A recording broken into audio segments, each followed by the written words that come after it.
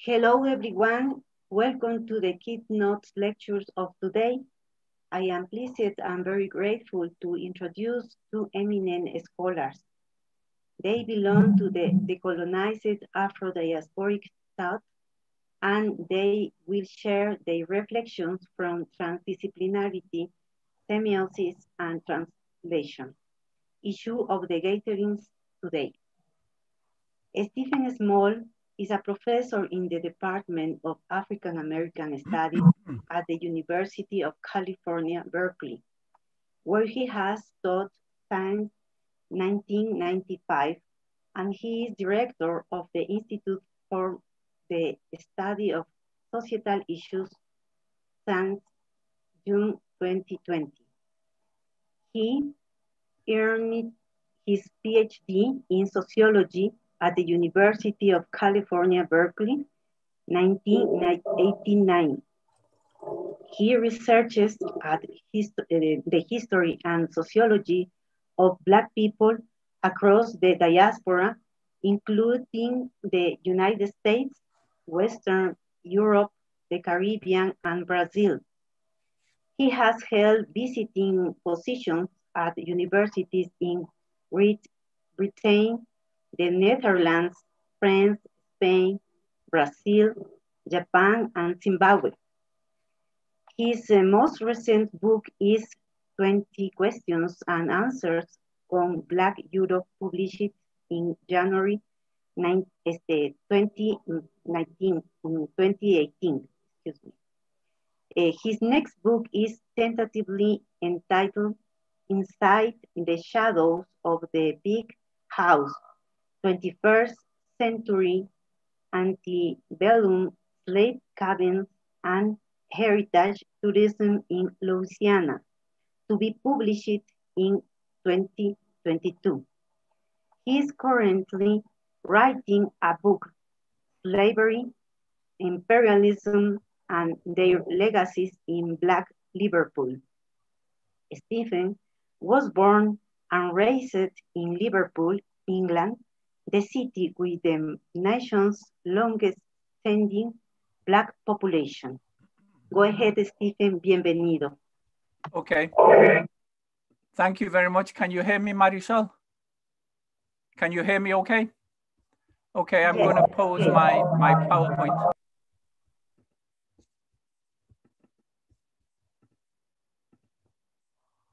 Okay, can you see the PowerPoint okay? Okay, thank you very much. Good morning to everybody. Thank you, Marisol, my dear friend and colleague for many years. I'd like to thank the organizers of the World Congress for inviting me here, and Marisol especially. And I'd like to thank my colleagues on the panel for being present so that we can share our insights from different disciplines and from different nations. And thank you to everybody for coming here today. My presentation is entitled Black Europe and the African Diaspora, the Political, Economic and Social Formation. Okay. What I plan to do in today's presentation is to bring Black Europe and the African diaspora to the center of analysis in understanding Europe. What we find at present in universities across Western Europe is that in their research on migration, ethnicity, and gender, there are very significant deficiencies. Most universities neglect Black people. They neglect institutional racism. They neglect the intersections of race and gender. They neglect the legacies of colonialism and imperialism. And they neglect the role of the state in creating Europe and the world in racial formation, political, and economic configurations. When you look at most research across European universities, you see that Black people do not appear as themselves. Black people appear primarily as a subgroup or a category of other issues. So you see in research that Black people appear as immigrants, as refugees. Women appear as prostitutes or as victims of trafficking. Black people appear in prison or as beggars on the street. Okay. They appear as criminals. Overwhelmingly, Black people in research are treated as victims and objects rather than as subjects. And Black women and men are not central as agents of social and political change who were involved in resistance, in resilience, or in self determination. What we also see when we look at Western Europe is that any studies, any research that mentions Black people are overwhelmingly nation specific. They do not look at Black people across the continent in general, but rather they look at individual nations, Black people in the United Kingdom, Black people in Portugal, Black people in Spain, Black people in Germany or Sweden or Denmark. They look at the idiosyncrasies of the particular history of individual nations.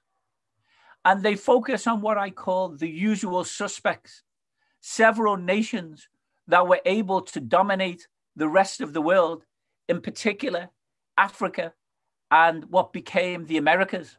So this is the United Kingdom, France, Spain, Portugal. These are the primary uh, nations that are examined.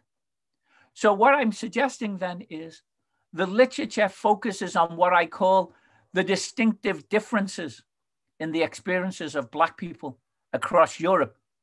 And they focus on state actions in terms of designating people of color as immigrants and as refugees and as asylum seekers. This is the dominant literature in European universities. Okay. For example, again, as an example of the distinct differences at the national level, individual studies focus on idiosyncrasies in individual nations. So, what we see, for example, is that in the UK, in France and Netherlands, Black people are long-time residents. They have small populations that go back generations and small populations that have arrived in Europe in the last 70 years. In the UK, France, and the Netherlands, we see the majority of Black people arrive speaking the national language. They spoke English, they spoke French, they spoke Dutch because they were colonial citizens or colonial subjects. Okay. What we see also in these countries is that Black people were primarily Christians or identified as Christians, and they arrived as citizens. When they arrived in England, in France, and Netherlands, they were already citizens of those nations. In contrast, if you look at other nations in Europe, for example, Sweden, Norway, Denmark, and Italy, you see that the vast majority of Black people, people of African descent, arrived only since the 1990s as these nations began to receive uh, economic migrants and also refugees and asylum seekers. In these nations, the majority of Black people did not speak the language when they arrived. They did not speak Swedish or Norwegian or Danish. Okay. The vast majority who arrived are Muslims or identified as Muslims. The majority of Black people in these nations come from what's known as the Horn of Africa, from Somalia, from Ethiopia, from Eritrea. They also come from West African nations that are predominantly Muslim, like Senegal. Okay. And the vast majority arrived, or large numbers arrived, as refugees.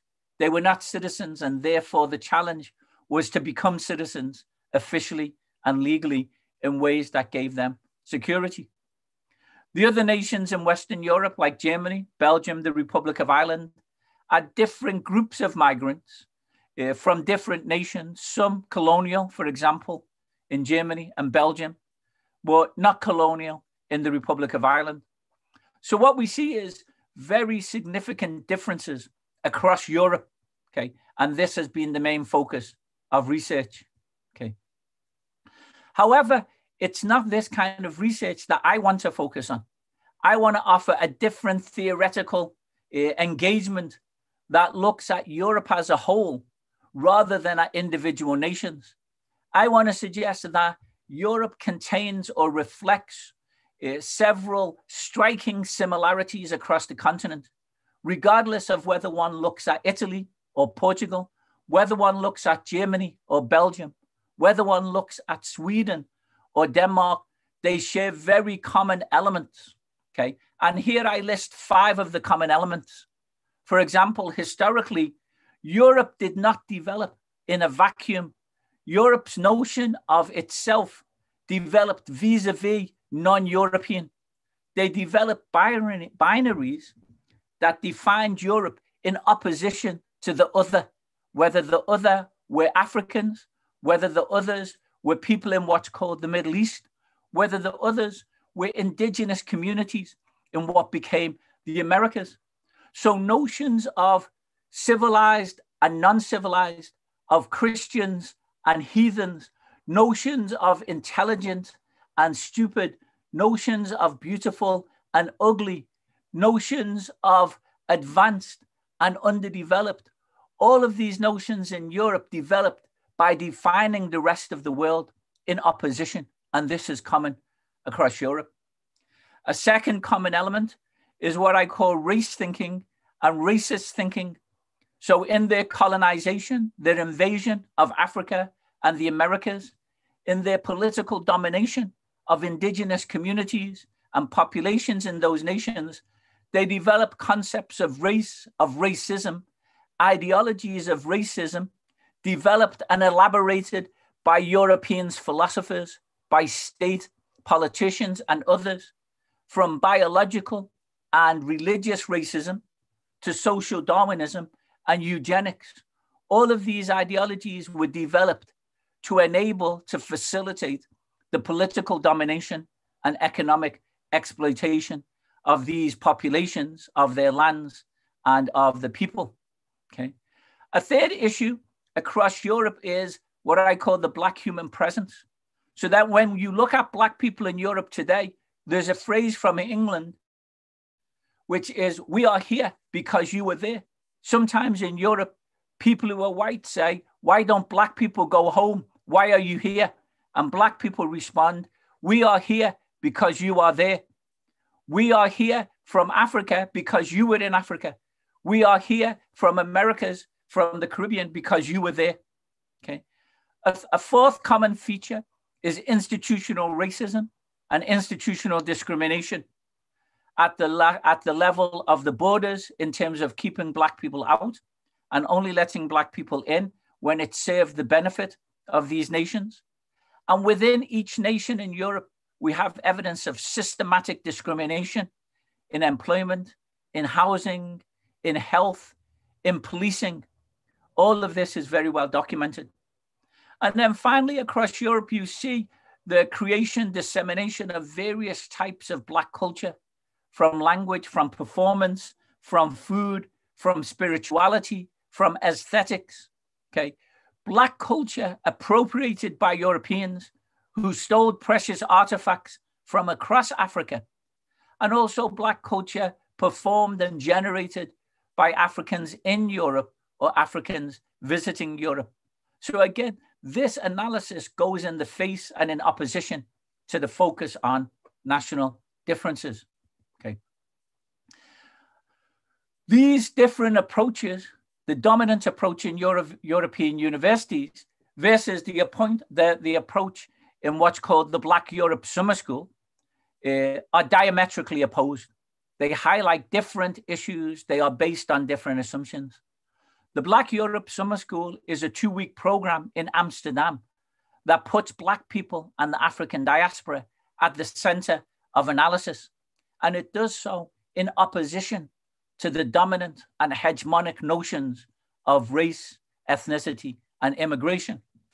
So when European universities and faculty look at Black people within Europe, they overwhelmingly see Black people as immigrants they argue that Black people are recent arrivals who are going through the process of assimilation, learning language, learning culture. They argue that Europeans are tolerant of immigrants And typically they present themselves in oppositions to Americans. They suggest people in the US are racist, but people in Europe are not racist. This is their ideology. And finally, they argue that immigrants, wherever they come from, should show gratitude because they've been allowed to come into France, into Germany, into Sweden. In opposition, the Black Europe Summer School argues that Black people overwhelmingly are not immigrants. Black people are citizens and legal residents. And the vast majority of Black people in Europe, despite immigration, are citizens and residents. And my home city, Liverpool, is the home of the longest standing Black population in Europe, which goes back to the 1700s. Instead of emphasizing assimilation, the Black Europe Summer School and my approach confronts institutional racism the issue is not that Black people are learning languages. The issue is that white people are overwhelmingly racist and discriminatory in terms of stereotypes, in terms of caricatures, and in terms of defining Black people as permanently alien, even if we are born and raised in Europe. Okay. Instead of looking at Europeans as tolerant and expecting Europeans to be tolerant, my approach emphasizes how Black citizens demand their rights, our rights as human beings, as Black people, uh, rather than expecting uh, tolerance. And then finally, instead of showing gratitude, Black citizens demand respect. We do not have to show gratitude as if you rescued us from some barbaric world when in fact there was colonization. Instead, we demand respect. So I present this as different points on this uh, opposite ends of the spectrum. Of course, there's overlap, but this presents very different approaches to the Black experience in Europe. Okay. To give you some description, the African diaspora in Europe exists as a legacy of slavery, colonialism, and imperialism. Black people are in Europe today because Europe was in Africa Europe was in the Caribbean, Europe was in Latin America. These data are from, 90, uh, are from 2018, two years ago. And what I suggest here is that Europe has 46 nations. The United Nations says that there are 52 nations in Europe. It's not easy to decide exactly where Europe begins and where Europe ends. But for me, there are 46 nations in Europe. And those 46 nations have 770 million people. Okay. Of those 770 million people, I identify 7 million Black people. I estimate 7 million. So that's less than 1%. Okay. And 6.6 million Black people are in 12 nations. Okay.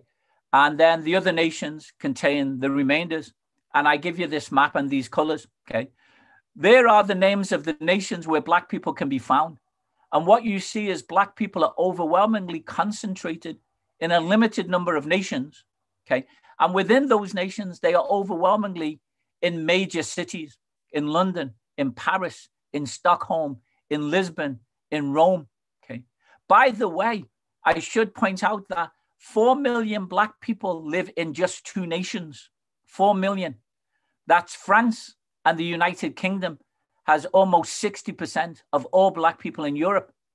And it's also a legacy of Europe that in France, 700,000 Black people live in the Caribbean, in Martinique, in Guadeloupe, in French Guiana, because those people are citizens of France and citizens of Europe.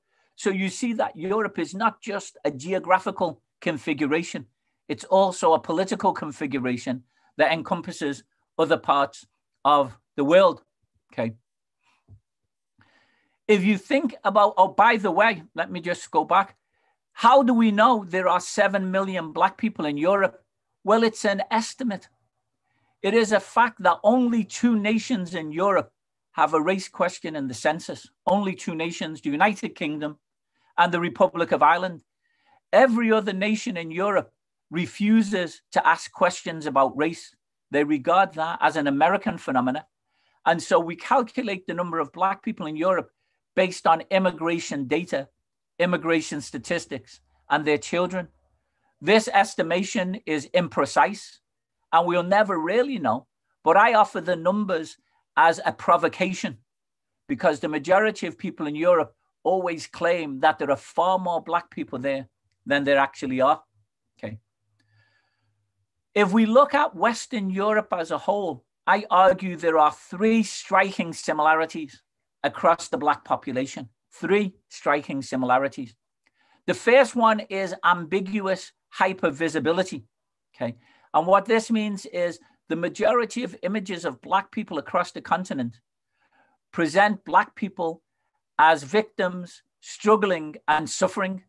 And there's a high visibility of gendered images of Black people as immigrants and refugees in low paid jobs, women as sex workers, men as street vendors. We see images of the unemployed and homeless.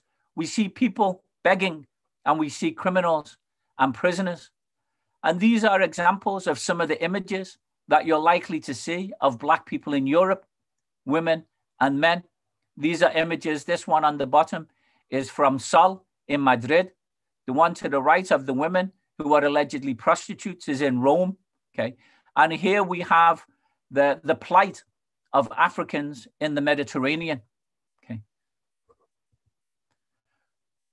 The hypervisibility is ambiguous because not all images are negative. Some are images are what are called positive.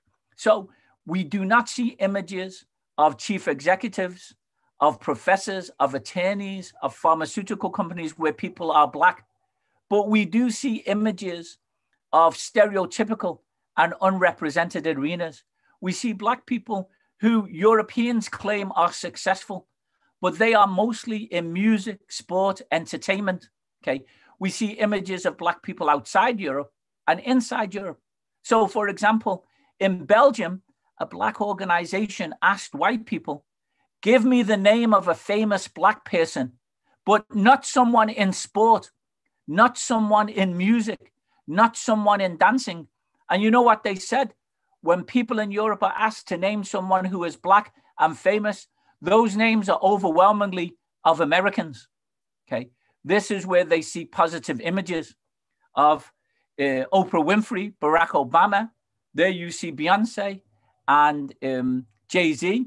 There's also images of Bob Marley and Usain Bolt. Okay. So these are the so called positive images. But I argue these images are highly problematic because they expect Black people to do well in America. They expect Black people to do well in sport. And they have images of Black people in Europe who are successful. These four women all competed at the uh, Rio Olympics, the Brazilian Olympics in 2016, for the UK, for Belgium, for Sweden, and for Portugal. So these are the images, but I argue they are problematic because they are all stereotypical. Okay. The second striking similarity I call entrenched vulnerability, by which I mean inequality.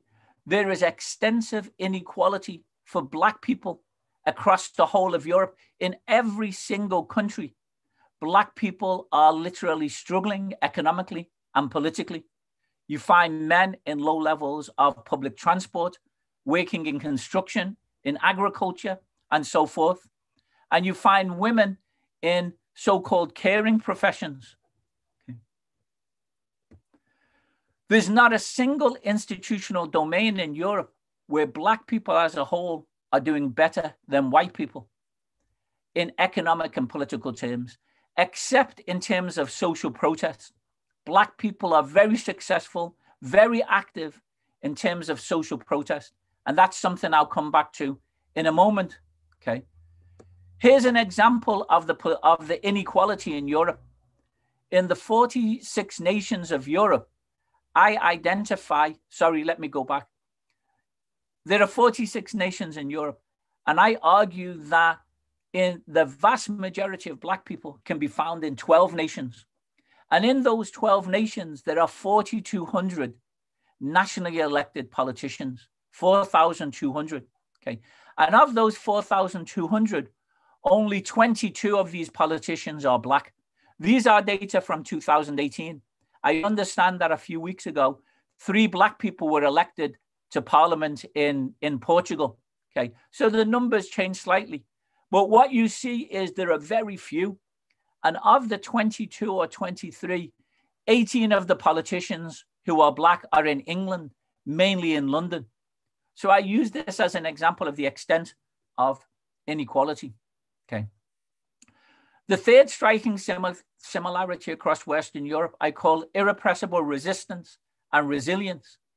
That despite the discrimination, despite the inequality, despite the institutional racism, we see that Black people, women, and men have developed and elaborated a wide range of groups and organizations to fight injustice, discrimination, and racism. They are fighting to make institutions more inclusive and also to develop knowledge and education on colonialism and its legacies, including an analysis of racism today. And because the nations refuse to talk about racism, if you want to find out evidence and information about racism, overwhelmingly, you will find this in Black organizations. Okay. So you see organizations that are open to everyone. There are Black women's organizations that are set up independently. There are some organizations of gay and trans people. And these organizations across Europe, some of them are Black only, some of them are multiracial, are involved in protests, demonstrations, campaigns. They're involved in knowledge production outside the academy because most of these universities will not focus on race, but only on ethnicity. Here's some examples of some of these organizations across France, across Spain, across the UK. Also, you see the influence of the United States there. Uh, this Plataforma Gueto uh, Apresenta is an organization in, in Portugal, mainly in Lisbon. And then there's Afrofem organization in Belgium and in France, just to give you some examples. Okay. Black people produce knowledge, organize and resist not only in written forms, but also in terms of films and sculpture and video and performance. These are some examples from Denmark. Uh, Janet Ehlers and Levon Bell created the first statue ever in the history of, uh, of Denmark. And Fred Cuono is an Italian Ghanaian filmmaker producing knowledge to, to challenge the hegemonic notions. Okay. I'm going to bring it to an end in a couple of minutes. Okay. So there are three commonalities, three striking similarities, regardless of national differences. And most of the literature focuses on the differences. And I understand that. Eh, however, I argue there are important insights to come from looking at Europe as a whole. Okay. And when we look at Europe as a whole, we see that we can confront the what I call the irrepressible intersections of gender race ideologies, but also of institutional practice. Okay. We see how Black women's and men's experiences are shaped by common hegemonic European ideologies of superiority and inferiority, of othering articulated through notions of race and sexuality. Okay, we see how Black women are acting not only as objects and victims, but also as subjects, as agents, as leaders involved in community interventions, in political interventions, in intellectual interventions, uh, challenging injustice and promoting justice, not just for Black people, but for everyone in Europe. Black people have worked to make European institutions, to reform them while also being engaged in the process of transformation. Okay. And what I would suggest is that uh, institutional racism is widespread across Europe today. However, it would be far worse if it wasn't for the activities of Black women and men who have mobilized to question racism and to challenge the intersections of race and gender. Okay. How can we conclude?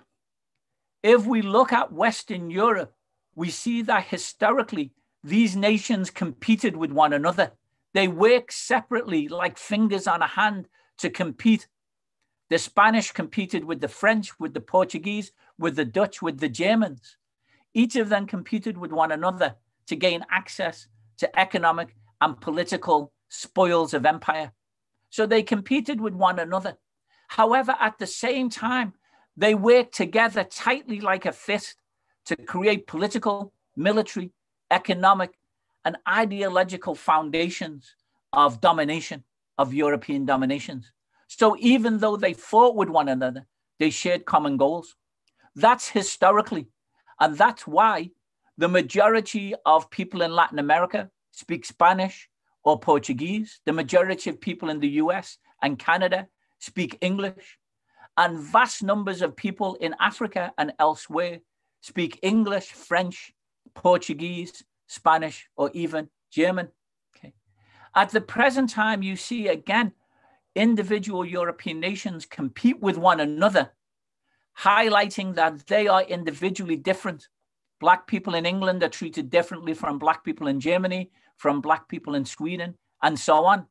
And yet, even though we have those differences, we see that all the nations of Europe work collectively like a fist, embracing racist theories around immigration and assimilation. All of them deny the relevance of colonialism and they all point the finger at one another. They argue that Britain is the most racist, that Spain is not racist, that it brought culture and Catholicism, that Sweden is not racist. So they point the finger at one another and they also point the finger at the United States. These are commonalities which remind us and which suggest there is no solution to racism at the national level racism and the legacies of colonialism are European wide phenomena which must be addressed at the level of each nation, but can't be resolved independently of confronting Europe as a whole. Okay. If we move away from focusing on differences, we see that we can identify common striking similarities. Okay. We introduce a theoretical framework for interrogating Black Europe, a framework that looks at the racial state at the national level, but also European wide, a framework that engages with racism past and present, and which identifies the history of European colonialism and its legacies as directly relevant to what's happening to Black people and to others in Europe today. Okay. And the focus that I'm suggesting of similarities highlights historically how all nations are implicated in the principles of Black Europe, in racist thinking, in institutional discrimination, and in embracing and appropriating Black culture and a Black human presence for economic uh, benefits.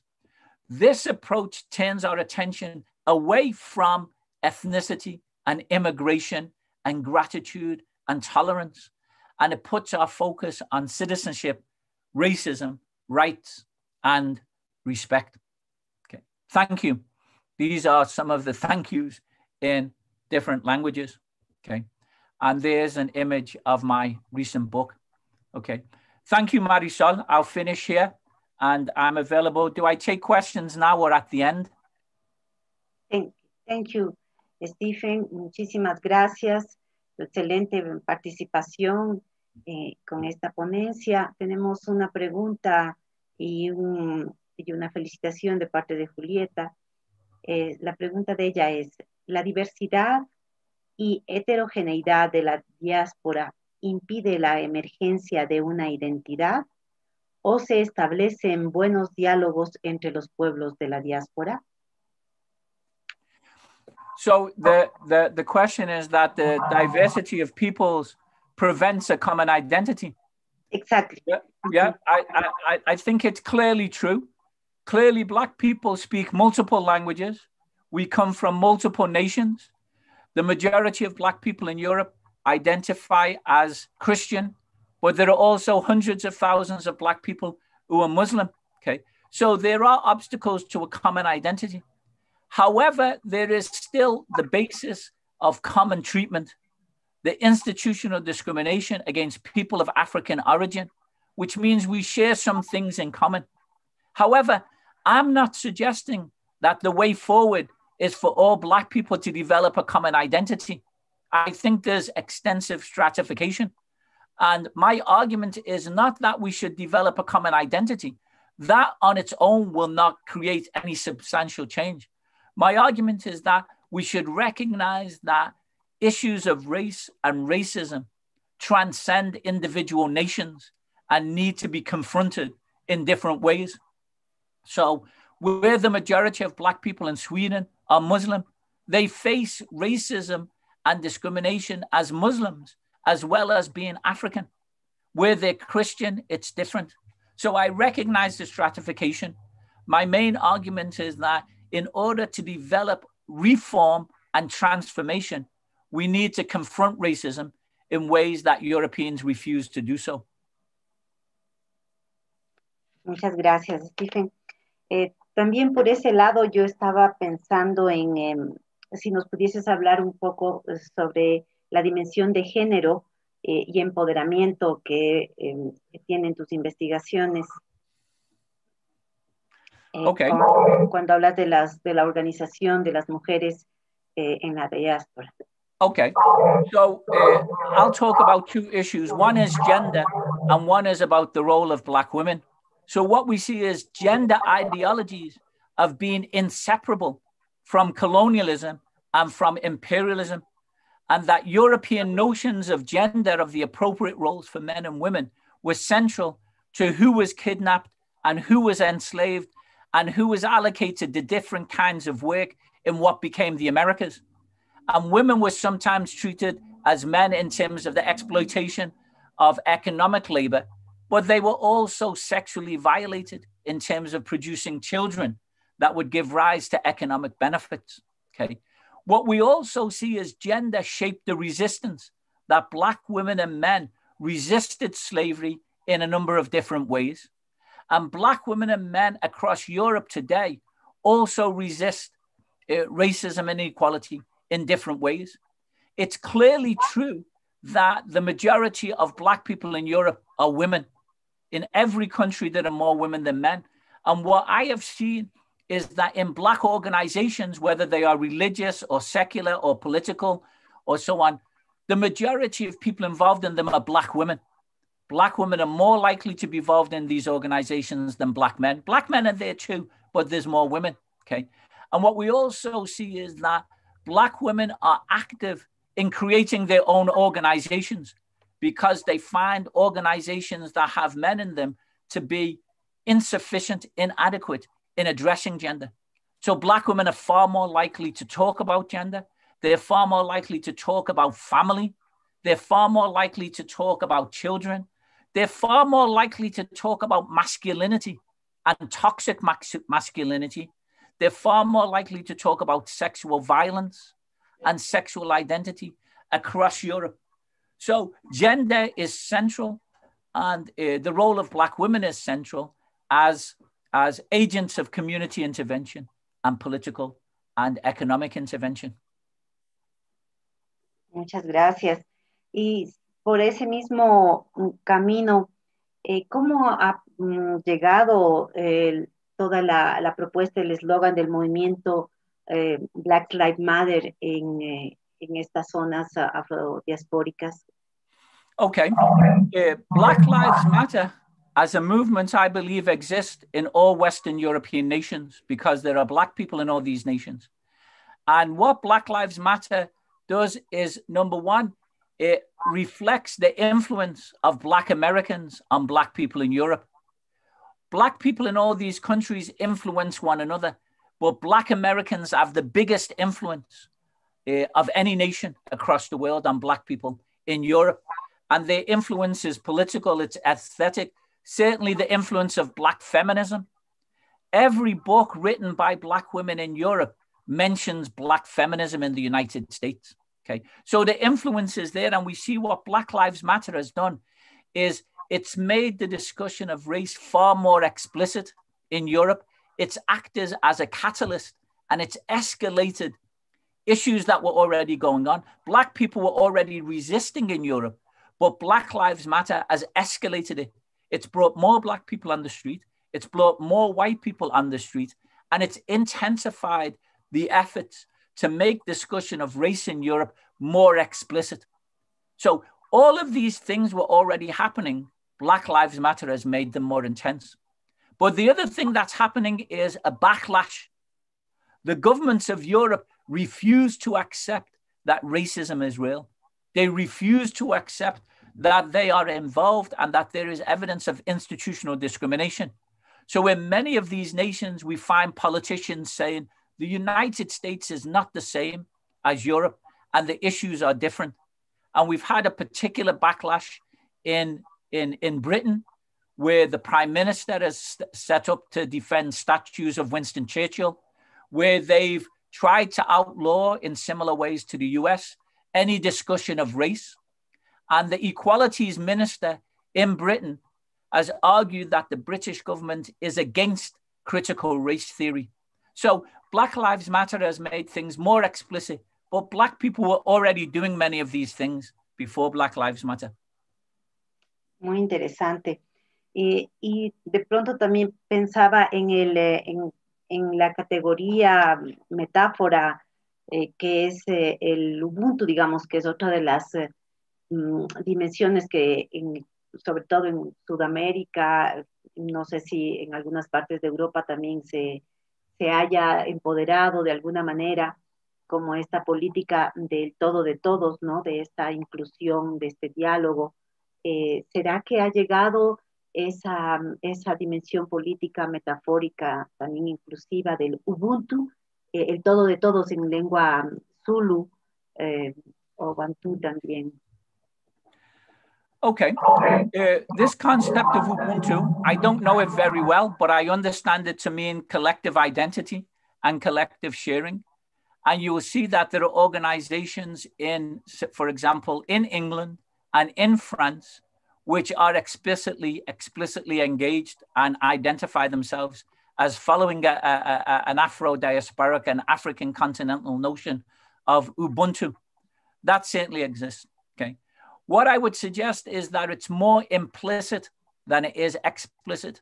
Okay. However, it's very important to be aware that the majority of Black people in Europe, more than 7 million, they trace their origins directly to Africa rather than to the Caribbean or South America. Most of them are from West and Central Africa. In, in, in Scandinavia, they're from the Horn of Africa. So Black Europe is African Europe, it is not Caribbean Europe. I estimate that 90% of people from the Caribbean live in three nations the UK, France, and the Netherlands. So African philosophies are far more likely to be manifest, okay, Eh, explicitly in notions of Ubuntu. But I argue that people involved in Black organizations and Black women's organizations and Black queer organizations all are embracing a collective identity rather than an individual identity as a way to, to challenge uh, racism. Okay. Muchas gracias, Stephen. Eh, Francisco Paulo Lemos nos pregunta de Brasil. The humanity have to change the form that one see another one uh, when are only humans no more or as uh, no less? So does humanity have to change itself? Uh, of course, the underlying issue is the recognition that we are all human and that we, what we share in common uh, is far more than the appearance of racial difference. Okay. And that should be our, our ultimate goal. But there are people who suggest that the way to go forward is to ignore race and highlight that we are all humans. I do not believe in this approach. I do not believe that we can emphasize the issue of humanity unless we challenge the notions of race and gender and religion that differentiate one, uh, that differentiate us from one another. So we have to address both and think about the long term and the short term. But of course, we are all human and we are all part of humanity. And that should be the ultimate goal, not to obliterate difference, but to live with difference and encourage difference. And that I believe is the goal of transformation rather than of, of reform. Eso es, muchísimas gracias. Eh, otra parte de la pregunta de Julieta iba en torno a, a los diálogos entre los pueblos de la diáspora. ¿cuáles serían tus propuestas quizás en torno a qué, hacer para generar justamente en Ubuntu, en esta interconexión, en este interciendo que estamos todos, y más ahora con la pandemia, eh, que nos hemos sentido realmente en, esta, mm, en este planeta buscando una ética planetaria, realmente, eh, ¿qué tú propondrías en torno a, a estas perspectivas? Okay, well, if I understand the question correctly, what is the exchange amongst people of the African diaspora with one another? Okay, mm-hmm. what we see is that there have always been uh, the exchange of ideas, of ideologies, of motivation, of institutions across the diaspora that Black people have borrowed from one another in other nations. Black people in Europe always borrow from the United States. If you're in Portugal, you're going to borrow from Mozambique and Angola and from Brazil. If you're in Spain, you borrow from Cuba and Puerto Rico and other nations. So, diasporic exchange, collective information and sharing is, is central. And what I think will happen in the future in Europe is that the issues of the Americas have dominated in terms of exchange. But because there's more and more people directly from the continent of Africa, I think we'll see more and more exchange between Europe and the continent of Africa, as well as across the diaspora. I think it's necessary. I think it's necessary to move. And Black people have always gone beyond national boundaries. During colonialism, during enslavement, Black people resisted national boundaries, escaping from Georgia to Florida, escaping from Brazil to what became Colombia. Okay, so national boundaries, I think, uh, are, are not always recognized as, as, as necessary. So I see continued exchange. I think it's necessary and I think it's beneficial. Muchísimas gracias, Stephen. Muy interesante. No sé si Julieta tienes alguna otra, algún comentario. Yo. Eh, ¿Algún otro comentario para terminar? No, no, no. I just, I just want to say, you know, thank you for the opportunity to share these reflections. I know these are big issues, and I'm not suggesting that Black people are unified in what we believe. My main argument is that to focus on individual nations in Europe is very limited. And we should recognize that an explicit focus on race, I believe, is the best way forward for explaining Europe, Europe's attitude to Black people and Black people's uh, actions. Muchísimas gracias, Stephen. Muy interesante. Okay. Ok, entonces muchas gracias a, a, a usted, a tú, eh, Marisol, por la oportunidad de presentar esta eh, presentación. y, y voy a quedarme aquí para, para, entender las otras presentaciones. Muchísimas gracias. Gracias, sí, gracias. gracias también. Gracias. Bueno, continuando, entonces el segundo ponente de estas conferencias es el profesor Agustín Lao Montes. Eh, Agustín es doctor en sociología histórica, un intelectual activista afrodescendiente de origen puertorriqueño es profesor de sociología en la Universidad de Massachusetts, Amherst, donde también es investigador en el Centro de Estudios Latinoamericanos y del Caribe y es profesor en el doctorado en estudios afroamericanos. Ha publicado varios libros y una gran cantidad de artículos en temas tales como globalización, movimientos sociales, temática urbana, identidades étnico-raciales y racismo, pensamiento crítico caribeño y afrodiaspórico, teoría decolonial.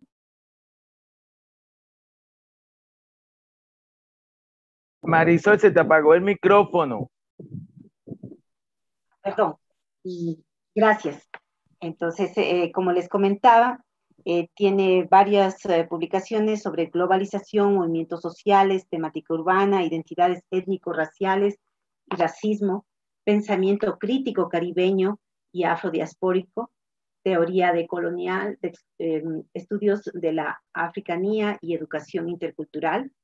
Ha sido y es activista en una multiplicidad de frentes, incluyendo los procesos de Foro Social y las redes afrodescendientes en las Américas. Es miembro del Comité Político de la Articulación Regional Afrodescendiente en las Américas, ARAC. Cuenta con un postdoctorado por Yale University, un doctorado en Sociología en la Universidad del Estado de Nueva York, en Binghamton. Hizo sus estudios en maestría en Economía Política en la New School for Social Research y su licenciatura en Psicología y Filosofía en la Universidad Católica de Puerto Rico. Ha sido profesor investigador invitado en la Facultad Latinoamericana de Ciencias Sociales Flaxo en Quito, Ecuador, en la Universidad del Valle, la Universidad del Externado, Universidad de Antioquía en Colombia y en muchas otras universidades en América Latina, Estados Unidos y Europa. Bienvenido, Agustín, tienes la palabra. Adelante. Eh, muchas, ¿se me, ¿se me escucha? Sí, sí, sí se te escucha bien. sí, que decía you're muted. Eh, muchas gracias, Marisol, por la invitación a, a, Julieta, a todo el comité. Es un placer el compartir aquí con el querido amigo y compañero Steven Small. Eh, mi presentación va a ser en inglés. Si yo me presento, primero hablo en español, pero luego voy, voy a hacer una, una presentación en, en inglés. Adelante. Eh, déjeme ver. Se puede ver, se puede ver la. Eh, ¿Se puede ver mi PowerPoint? Sí, solo expande la pantalla. Sí, la expando ahora. Eh, as I was saying, I, I will be presenting in Spanish, in, in English, I'm sorry.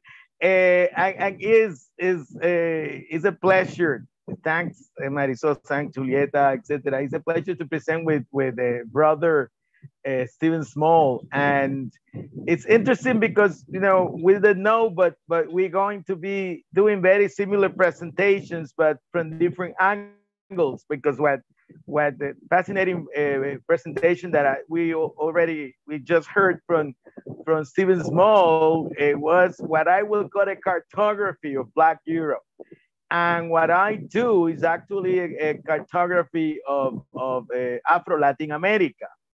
Uh, and, and, I'm going to, to be doing two things in, in this presentation. One is to present in very broad terms a book that, that was published in Spanish last year, and, and now uh, I, I am uh, finishing in English. It will be published in English.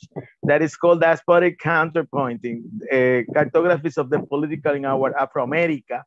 Uh, but I also uh, want to talk about what I call from the Corona crisis to the Ebony Spring to, to talk more about the, the, what's happening in the context of the pandemic uh, in, in, in Afro Latin America. Uh, first, talk a little bit about the, the, the book. Uh, you, you see the, the images of the book in, in Spanish here.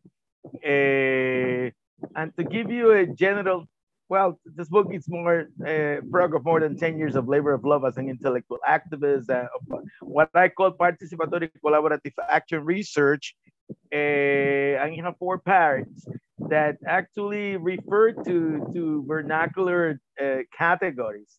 Mojugba, which is uh, the, the, first part is called Mojugba, and that, that's, that's uh, the when you do an invocation in, in Yoruba, in Santeria, in Candomblé, in, in Yoruba religion, Ebembe, that is this is a, a, a, drum play of drum for the orishas and and and the spirit. Uh, counterpoints, uh, mambo uh, are are the the four uh. Uh, that, that are divided in 10 chapters and to give a, a general taste of the juice and rhythms of the book and the book is written uh, you know, counterpoint is, is a category that is coming from music, and I will explain a little bit later that. But you know, uh, I will read short fragments from, from, from the book. And this is a short fragment. The Counterpunctual Association of Research and Writing seeks to honor an, a long tradition in the Afro-diasporic, Caribbean, and Latinx American intellectual production. Creatively combining historiography and narrative, sociological research and literary allegory, political theory and vernacular thought, self-ethnography and historical analysis with the aim of producing a non-positivist trans-post-disciplinary scientific thought, this have to do with the panel, which will cultivate its poetic imagination, its radical critical character, and its commitment to decoloniality and, and, and liberation. Uh, there are four key set of arguments that I that I made in in the in the book as, as a whole. Uh, the first one is that in its entirety, the book constituted an archaeology, a genealogy, and a cartography of what I denominate the field of Black politics in Latin America and the Hispanic Caribbean. The second is that I interpret Africanity or the Black world, and, and again, uh, that is a very uh, natural, to put it like that, dialogue with, with what Stephen just presented as an alternative modernity a counterculture of modernity, which is Paul Gilroy's famous expression, and, and as life worlds and practices that constitute alternative to modernity. The tension between these three proposals will be in play throughout the book. Third, the book's political epistemic posture combines a decolonial perspective with the politics of liberation.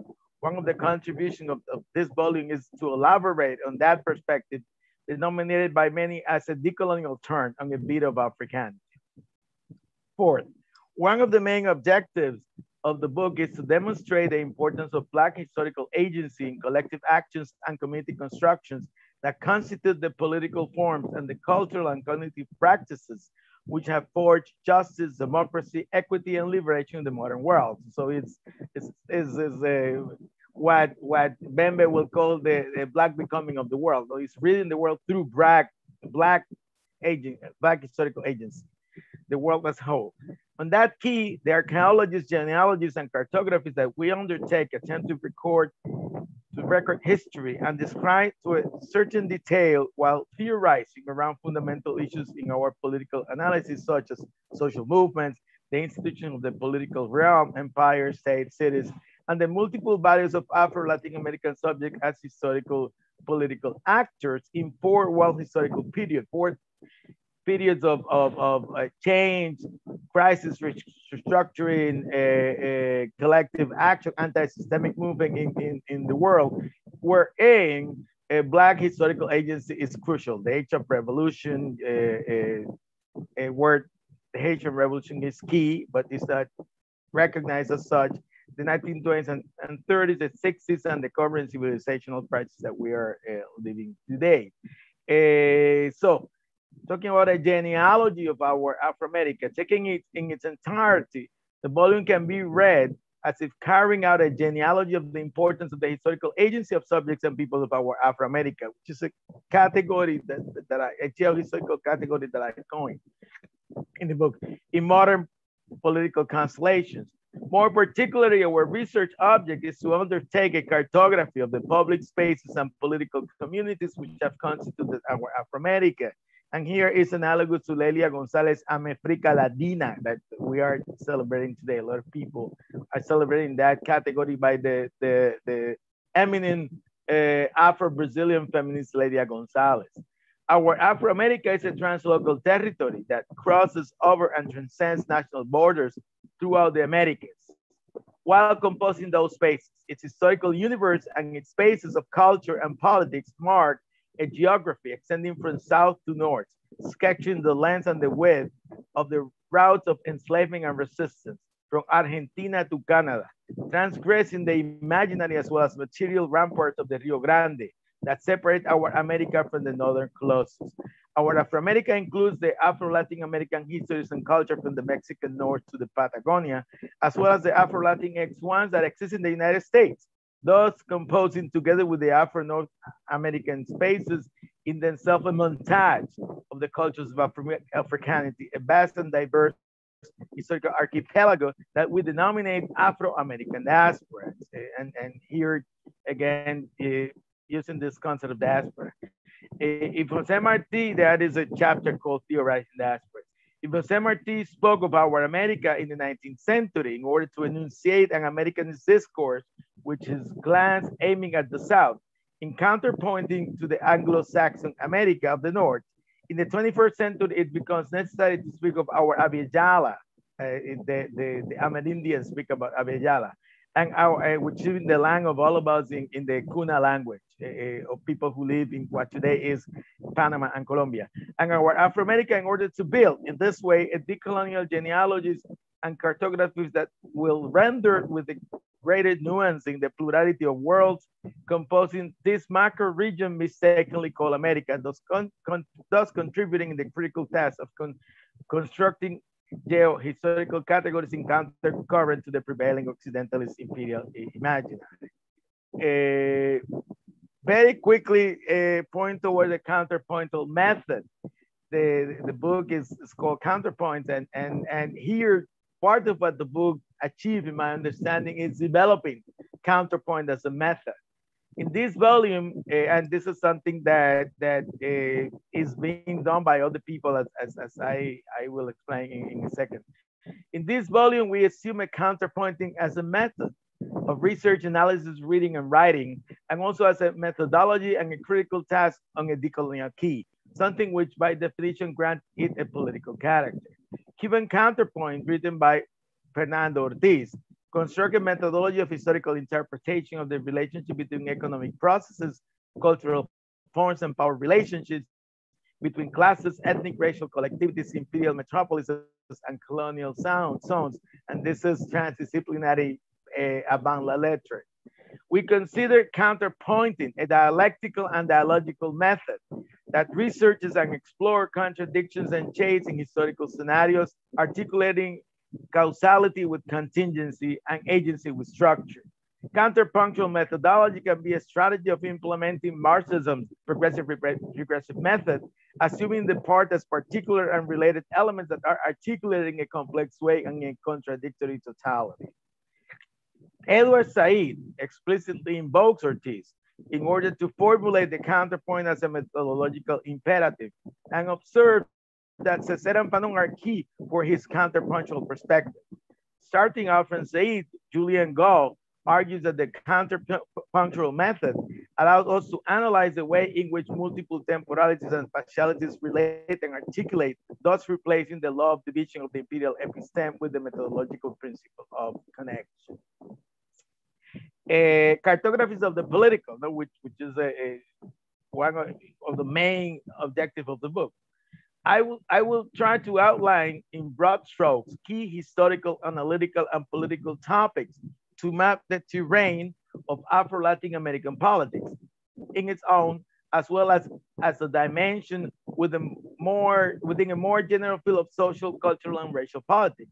I work through the concept of political field to conceptualize a space of power, relations with its actors, struggles, discourses, practices, perspective, and projects. And that is in the book. It's impossible to present that complexity in a in, in now in context articulated by common denominators in this case afro-descendant identity or blackness around disputes and negotiations about agendas methodologies of collective action political culture and historical projects notably the practical implications of struggles against racism and for racial justice we began using the concept of black political field to conceptualize the historical scenarios and political spaces constituted by national and translocal articulation of Black public sphere.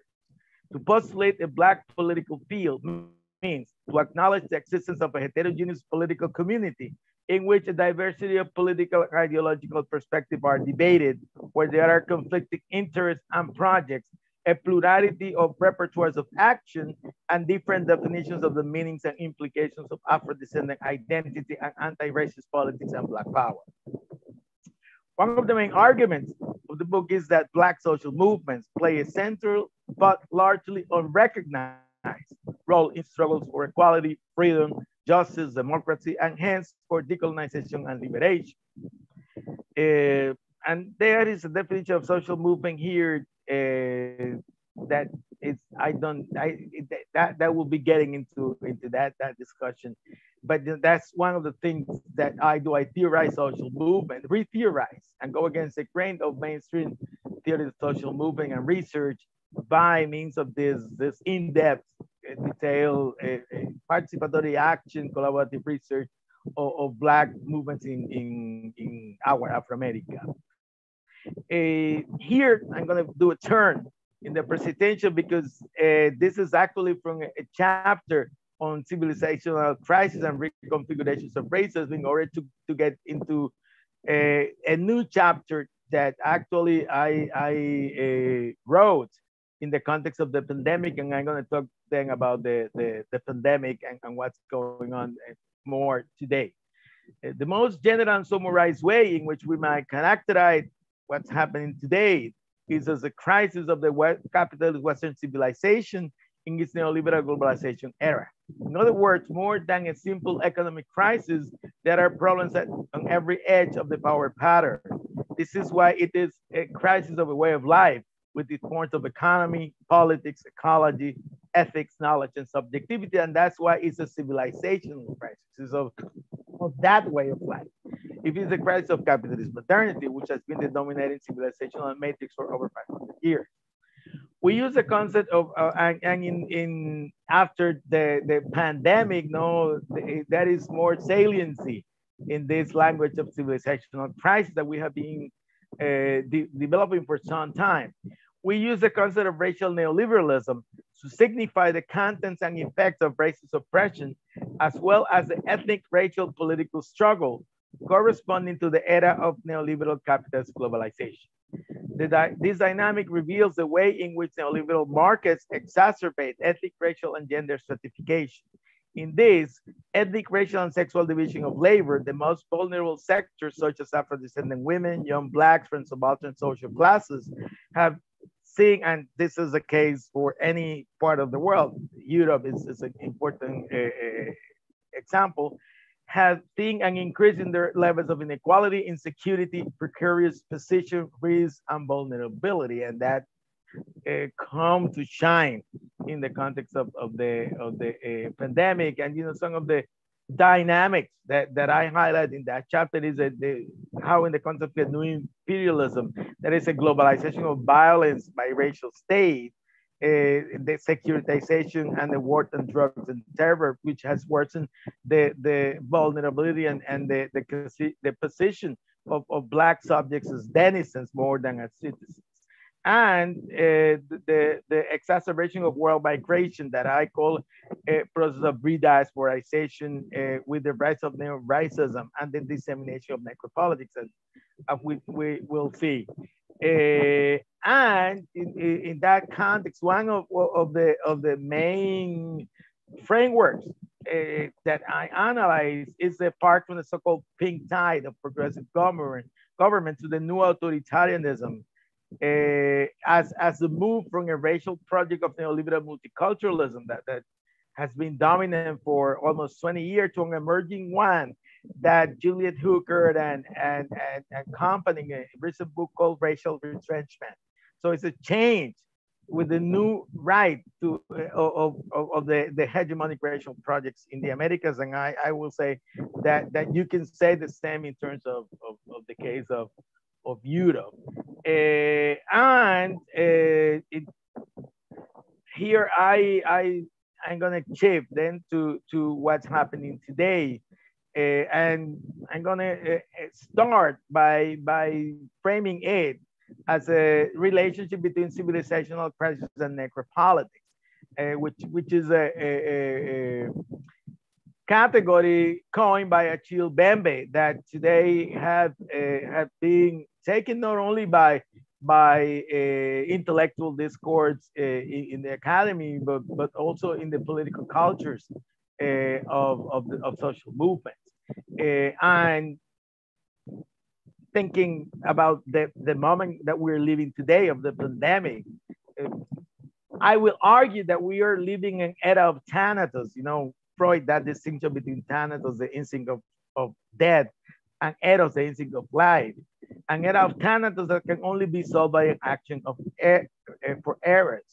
The pandemic highlights what at stake is the contradiction between life and death. And, and a lot of the critical discourse uh, highlight that contradiction between life and death as the, as the key one. Given that in Western capitalist civilization pervades the logic of death, the destruction of life, not only human but planetary in general, due to rationalism of capital, uh, accumulation and domination by West, Western subjects defined as white, male, literate, heterosexual, and bourgeois. Uh, the, that rationality of that uh, leads to what what uh, Bembe called a necropolitics, no? And and this this is a, a, a very potent quote. Modernity is from the beginning to an end an endless war against the living. And and and this is this is related to what he called the black becoming of the world.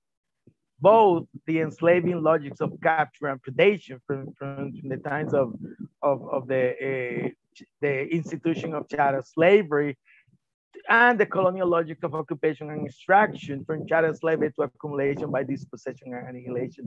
Today as, as, as, a, as being a constant and, and, and being a key staple of the, the other violence that represent anti-Black racism. No?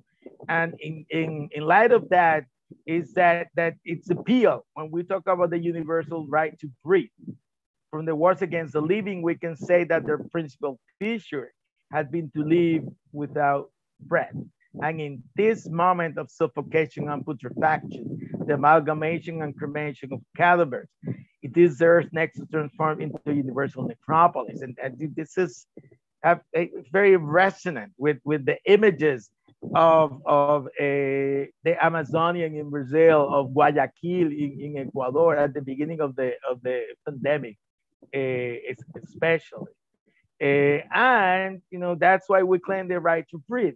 And, and, and I, I, I am leading toward the, the, what I call the the Ebony Spring, no, the, the, the, that wave of anti-racist protests after the decision of George Floyd.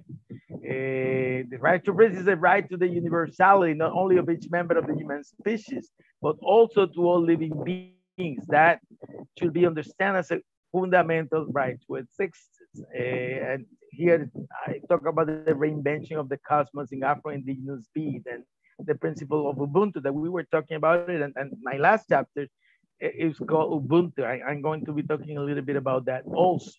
So the rhythm heard heart, the rhythm heart drum and rhythm of breathing as a principle of life means that the possibility and right of pure air and sweet water, which implies the conditions of possibility of a breathable life, in counterpoint with the planet plagued with pandemics from the Amerindian and African Holocaust, provoked by, provoked by the conquest and the Middle Passage to the Corona crisis. And here is a very brief uh, analysis of, of, of, the Corona crisis that, that I uh, refer as entangled oppressions, a planetary catastrophe, and systemic racism. The pandemics deepen and reveal the global crisis, pointing to a planetary catastrophe.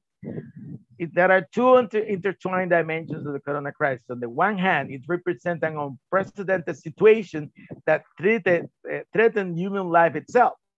On the other hand, exacerbated oppressions and inequalities such as entangled violences, patriarchal violence, racial, xenophobic, socioeconomic, political violences manifested in dispossession, deration, hunger, homelessness, and ecological disasters that are product of the destruction of flora and fauna by agrochemicals, deforestation, grand commerce of animals, and emission of toxic gases, gases that together had provoked an ecological disaster. Its most visible symptoms are the proliferation of lethal viruses, the erosion of food, food sovereignty, great floods, fires, earthquakes, and hurricanes. And in this context, racism bloomed now in the corona crisis in all its dimensions, from structural, systemic to institutional and quotidian, from cultivating a common sense of fear and displacing discontent toward racialized others, like calling it a Chinese virus and, and practicing violence against Asians.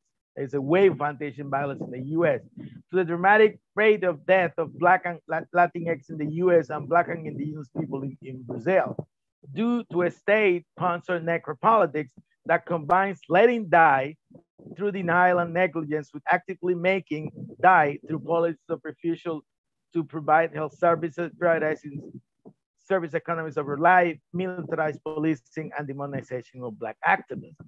In Brazil, the one who suffered the most have been the brutal Afro-Brazilian Quilombola and indigenous communities, especially in the Amazon forest, as well as Black urban communities in the so-called favelas, where the pandemic is now yet another source of the everyday genocide. And, and, and there, there is a, a, a literature describing the, the, the, the situation of, of everyday death of Afro-Brazilians as genocide, given that every half-hour a Black favelado is murdered.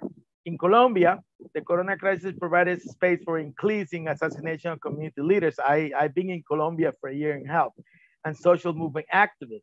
Most recently, there has been a number of massacres of young people, most recently in the context of national strike that has been happening since April 28, 2021. And, and it's the, the, the leadership of, of Afro-Colombians in this strike is, is, is, a thing that uh, we can talk for a long time about it. And in the US, societal crisis, you know, the deepest economic crisis in, in, uh, in, in more than 80 years, 40 million plus unemployed, uh, 31.7 contraction in, in production, uh, more than 300,000 uh, deaths, and, and, of which more than 550,000 blacks and 50,000 Latin eggs, uh, a legitimation crisis in the social and political polarization. I, I, I, don't have time to go into detail. All of this have made the U.S. in the, in the word of uh, Cornel West a failed social experiment.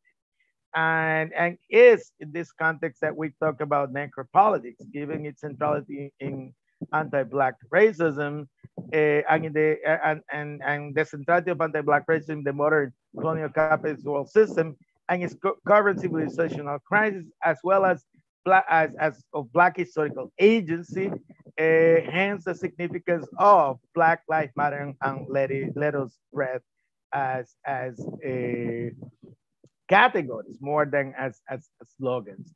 And I, I want to show some some uh, pictures here, some images. Uh, this image uh, that that uh, was through the world of, of black workers in a bus in Rio de Janeiro at the beginning of the pandemic when everybody was talking about isolation.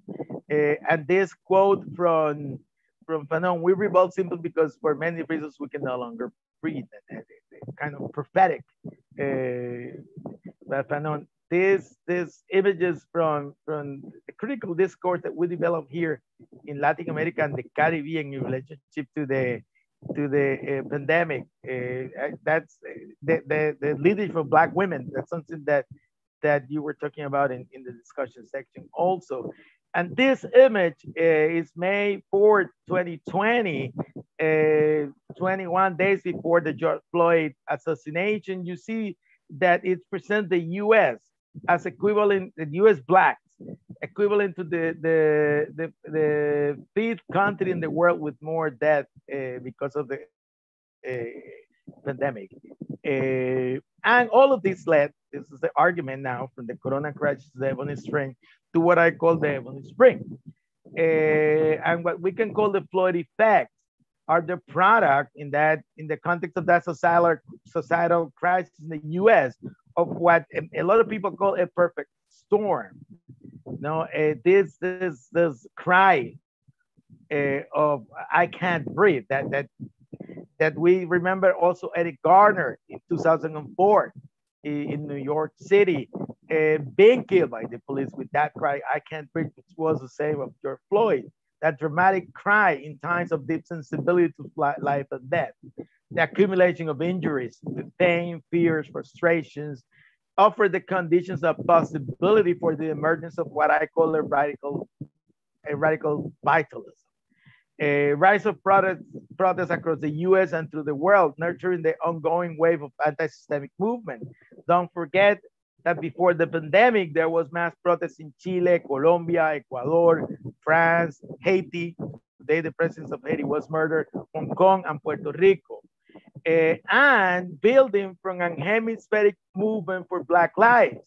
And, you know, we were talking about Black lives before also. Uh, this is not all, it's a combination between activation of network and spont spontaneous struggles. What happened with what I call the Ebony Spring. Uh, since at least since 2014, and, and, in the book there is a, a, genealogy of how this network of social back social movements in the Americas has been building in the long term. But the Black Lives in particular, the movement for Black Lives since 2014, catalyzing chain of chains of equivalences of a plurality of struggles, uh, identities, demands against entangled inequalities or interlocking oppressions. Students, Blacks, Indigenous, women, LGBTQ, uh, workers, peasants, urban dwellers, middle classes. Uh, this movement for Black lives embodied new forms of doing politics leadership of Black women and trans people, broad and diverse repertoires of action from street protests and social media activism to launching local candidates and influencing national elections. Uh, and entails a rigorous intersectional politics against all forms of oppression, leading to politics of multiple alliances. All of this account for what many characterize as the biggest wave of anti-racist protests in history, where uh, Black movements are playing the role of articulating a plurality of struggles and demands, ethnic, racial, class, gender, and sexuality, ecological, urban, territorial, generational, aesthetic, cultural, epistemic, spiritual, in short, civilizational, way of life, battles over modes of life, conviviality, and subjectivity. In Brazil, where military and paramilitary racial violence is larger than the US, and the pandemic resulted in a deepening of the daily genocide, both in the urban favelas and the rural quilombola communities, under the orderly, racist, patriarchal, and bourgeois governing of Jair Bolsonaro, there is a resurgence of a nationally articulated Afro-Brazilian movement with the Coalition for Black Rights, that is the leading voice are advocating for the impeachment of Bolsonaro. And I actually, uh, I'm putting up to date the cartography and I have been uh, developing an archive and interviewing people and, and uh, a lot of people are really excited about the, the kind of, of articulation of a national a black movement in Brazil that had not happened since the times of the dictatorship. That, that, that, that we can talk about that more about that later if you want.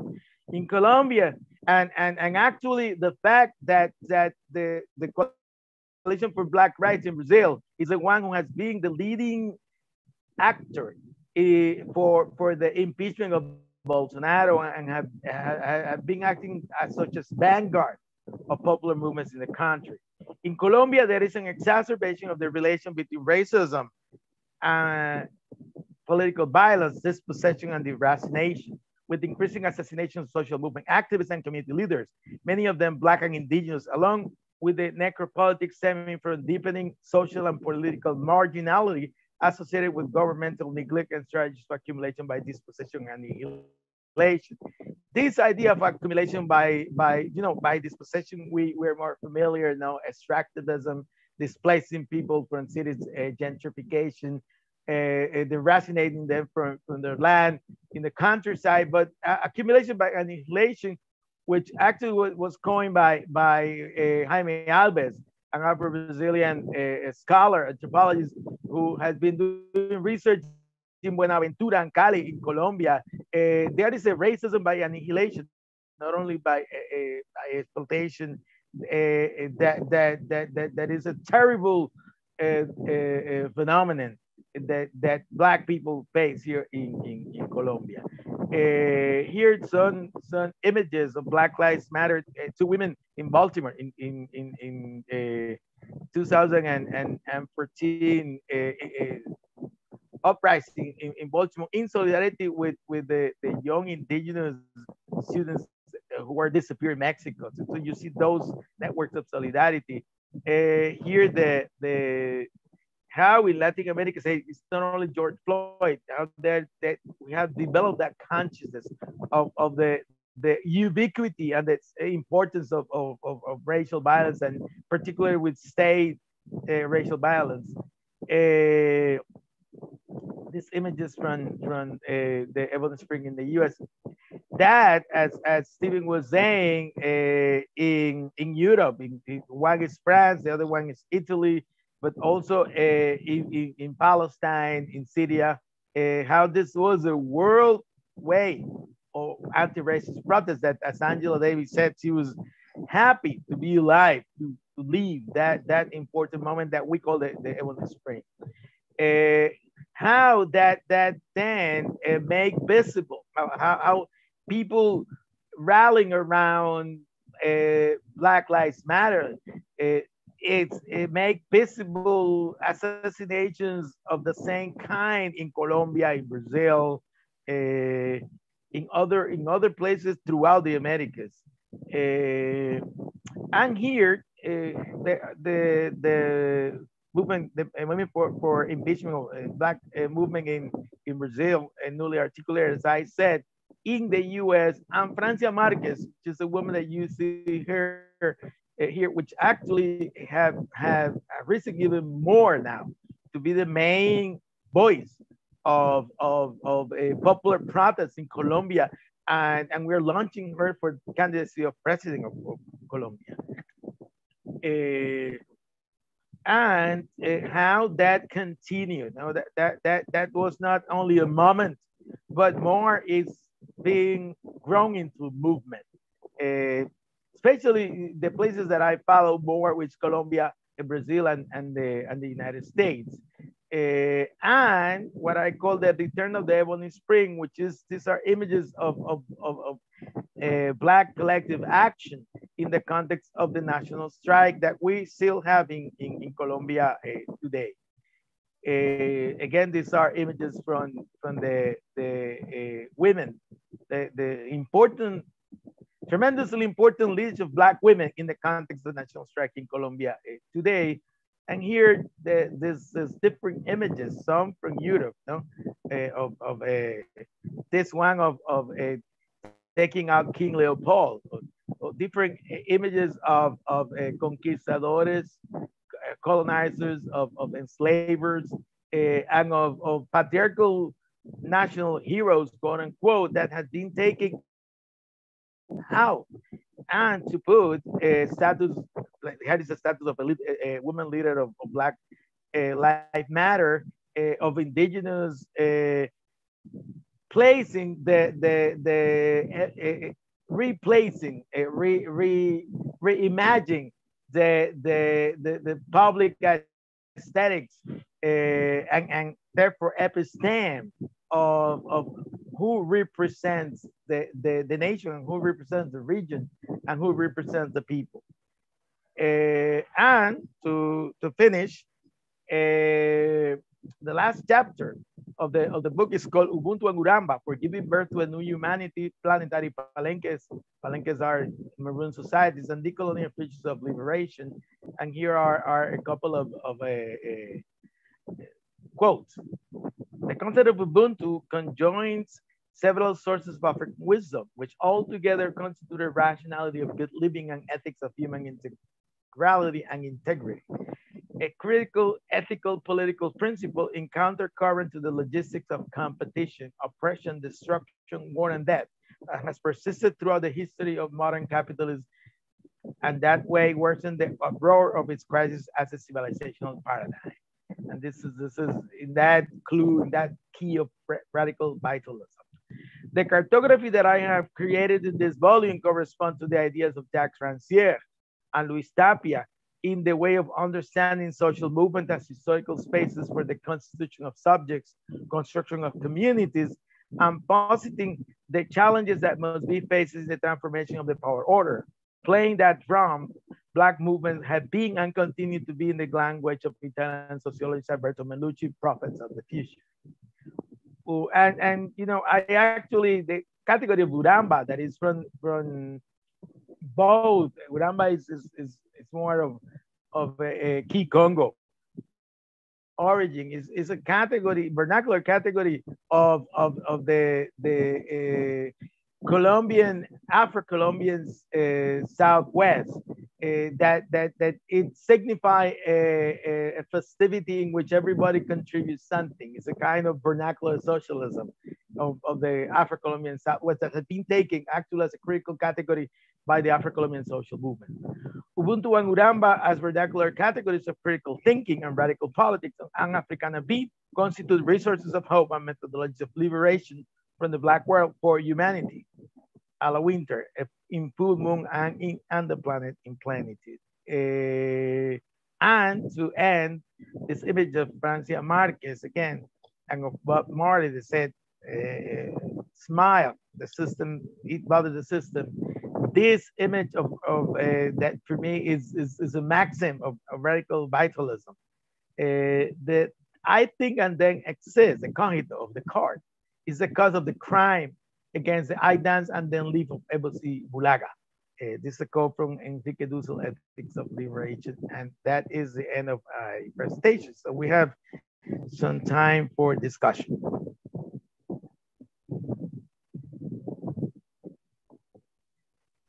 Muchísimas gracias, eh, Agustín. Muy, muy interesante, complejo y planetaria la reflexión. Eh, tenemos eh, justamente algunas eh, eh reflexiones eh, de conexión con, de Stephen Small, voy a leerlas. Yes, I see, eh, dice Stephen, ¿no? I see very common elements of resonance in the way.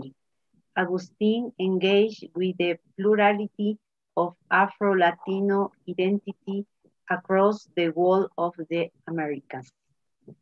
Y después también hizo un una pregunta que es la siguiente. Yo, yo, yo, la, yo la, puedo leer, yo la puedo leer si quieres. Sí, gracias. Sí. Eh, Agustín, in both our presentations, there are important issues of power differential between the state and its cohort on the one hand, and the collective the other. How can Afro descendants sustain the opening that now appears possible? Uh, thanks, Stephen, for this. This a great question. Uh, the what what happening in Latin America uh, in the 19 in, in, in the act, actually in the early 20th century uh, since the 19 since the the the 1990s to the early 20th century I, Marisol, I, can you turn off your mic? I think that that is a resonance because. Okay. Yeah. Uh, uh,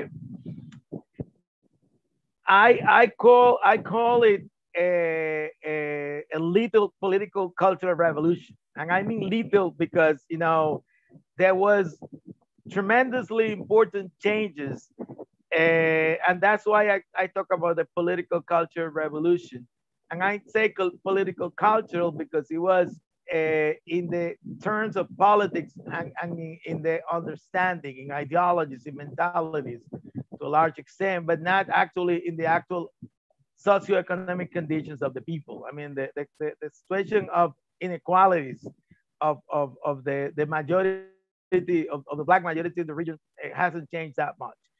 Uh, but uh, what happened in the 1990s is that move, uh, local and national movements were organized throughout Latin America.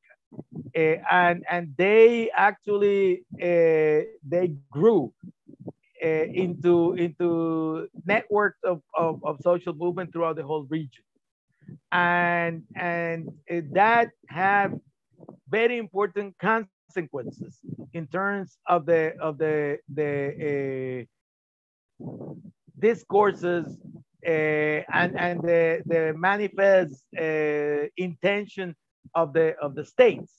Uh, because as, as Dudu Dieng actually was the, the, the, the rapporteur of the Durban after the, the third conference against racism and connected form of discrimination of racism and discrimination in in in uh, Durban, South, South Africa in 2001, uh, Dudu Dieng argued, uh, as many of us, that that Afro Latin American social movement passed or, or, or changed from being almost invisible to become the, the most important actors in world's struggles against racism and, and this is this is a very strong statement.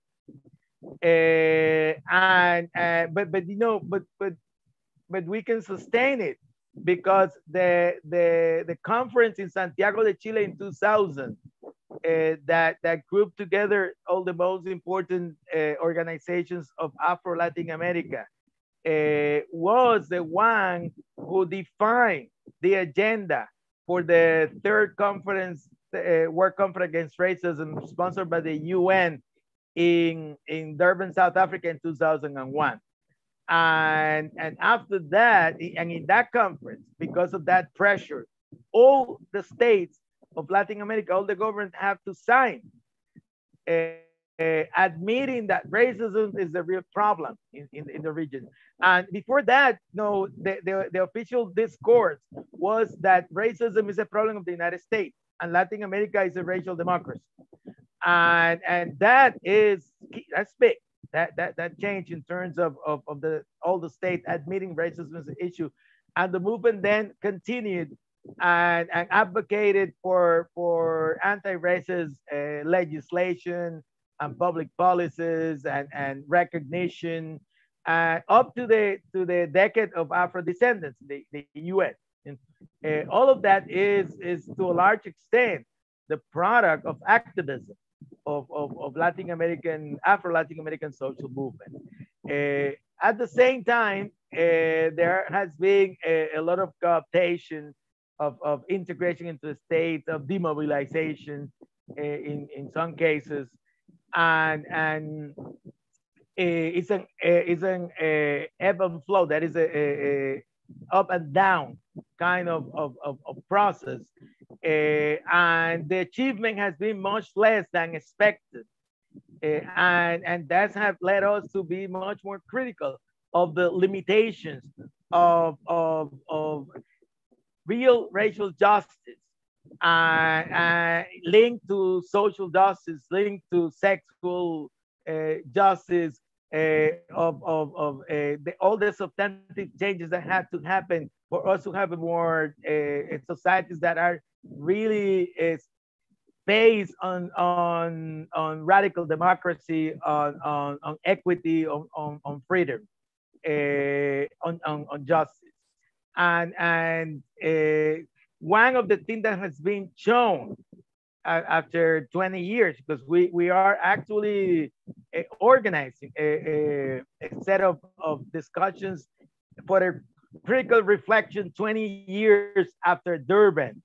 And now, uh, Durban was in 2001. In 2021, 20 years after Durban, we can say that we learned uh, that there is uh, that we can achieve some limited kind of change uh, with the nations within the nation state because even the progressive governments uh, the, the so-called pink wave in latin america did not promote the anti-racist po uh, policies did not promote enough the, the representation the empowerment of black people at, at, at it, it, it should be. So one of the things that we learned is, to answer your question, is that that uh, neoliberal capitalism as a world system and and the modern nation state, uh, the state the way it is today, uh, impose severe limitations for us to achieve the agendas of racial justice linked to other forms of justice, uh, gender, sexual, social, uh, ecological, epistemic, etc. Uh, and that that that's one lesson that that that we had to recognize the limits of change within the the the the, the, the terms of, of the state and, and terms of, of neoliberal capitalism uh, and even capitalism per se, even if it's not neoliberal capitalism. And uh, that's one. And second, that social movements are the only ones that are going to move the agenda are, are, are going are the engine of the possibilities of constantly advocating for change no? because we cannot wait until we we are uh, transcend capitalism we have to see how change can occur immediately and the, the, the vital forces for immediate change in the short term, as well as in the long term, are social movement That's why we had to advocate for the autonomy and the integrity and, and the constant growth of Black social movements in the region.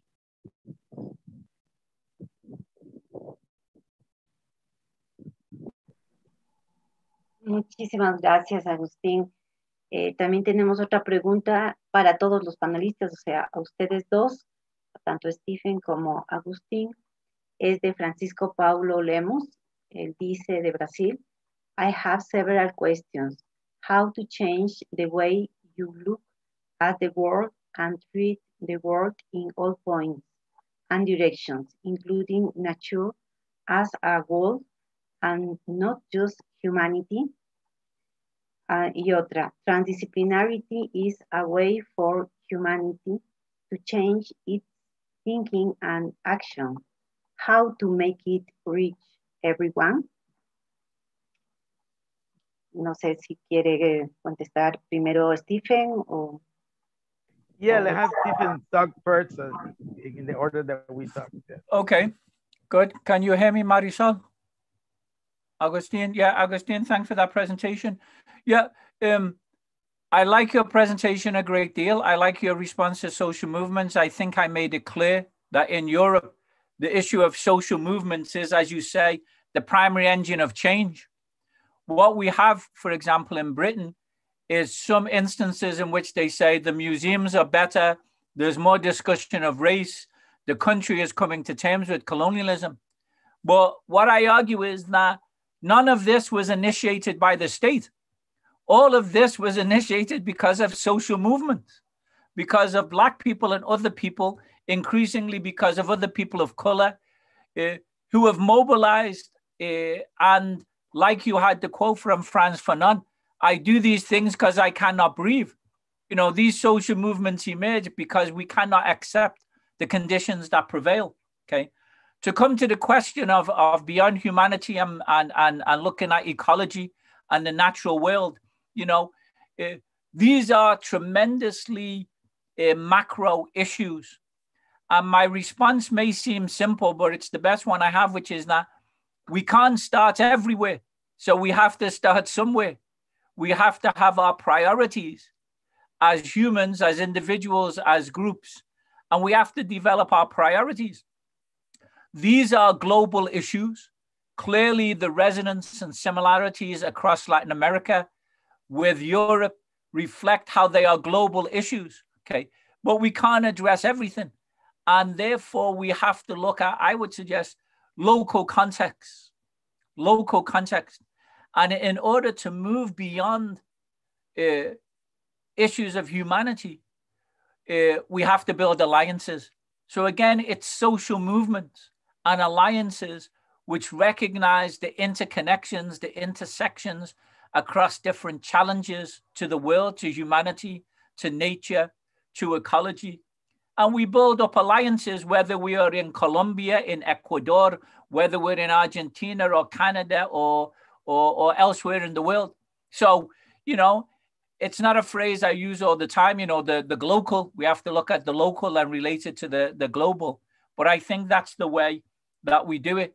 And what I suggest is that although these issues are global, there is no simple global solution. It has to develop from the local, it has to be national, and it has to be translocal. Eh, so th- these are, there's no secret answer to these questions.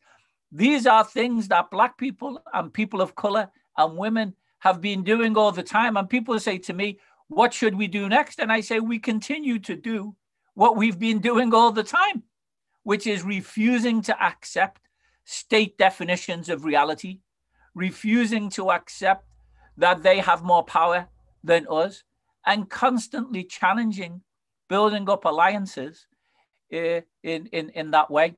So, so, so that's how that's how I'd respond to that question.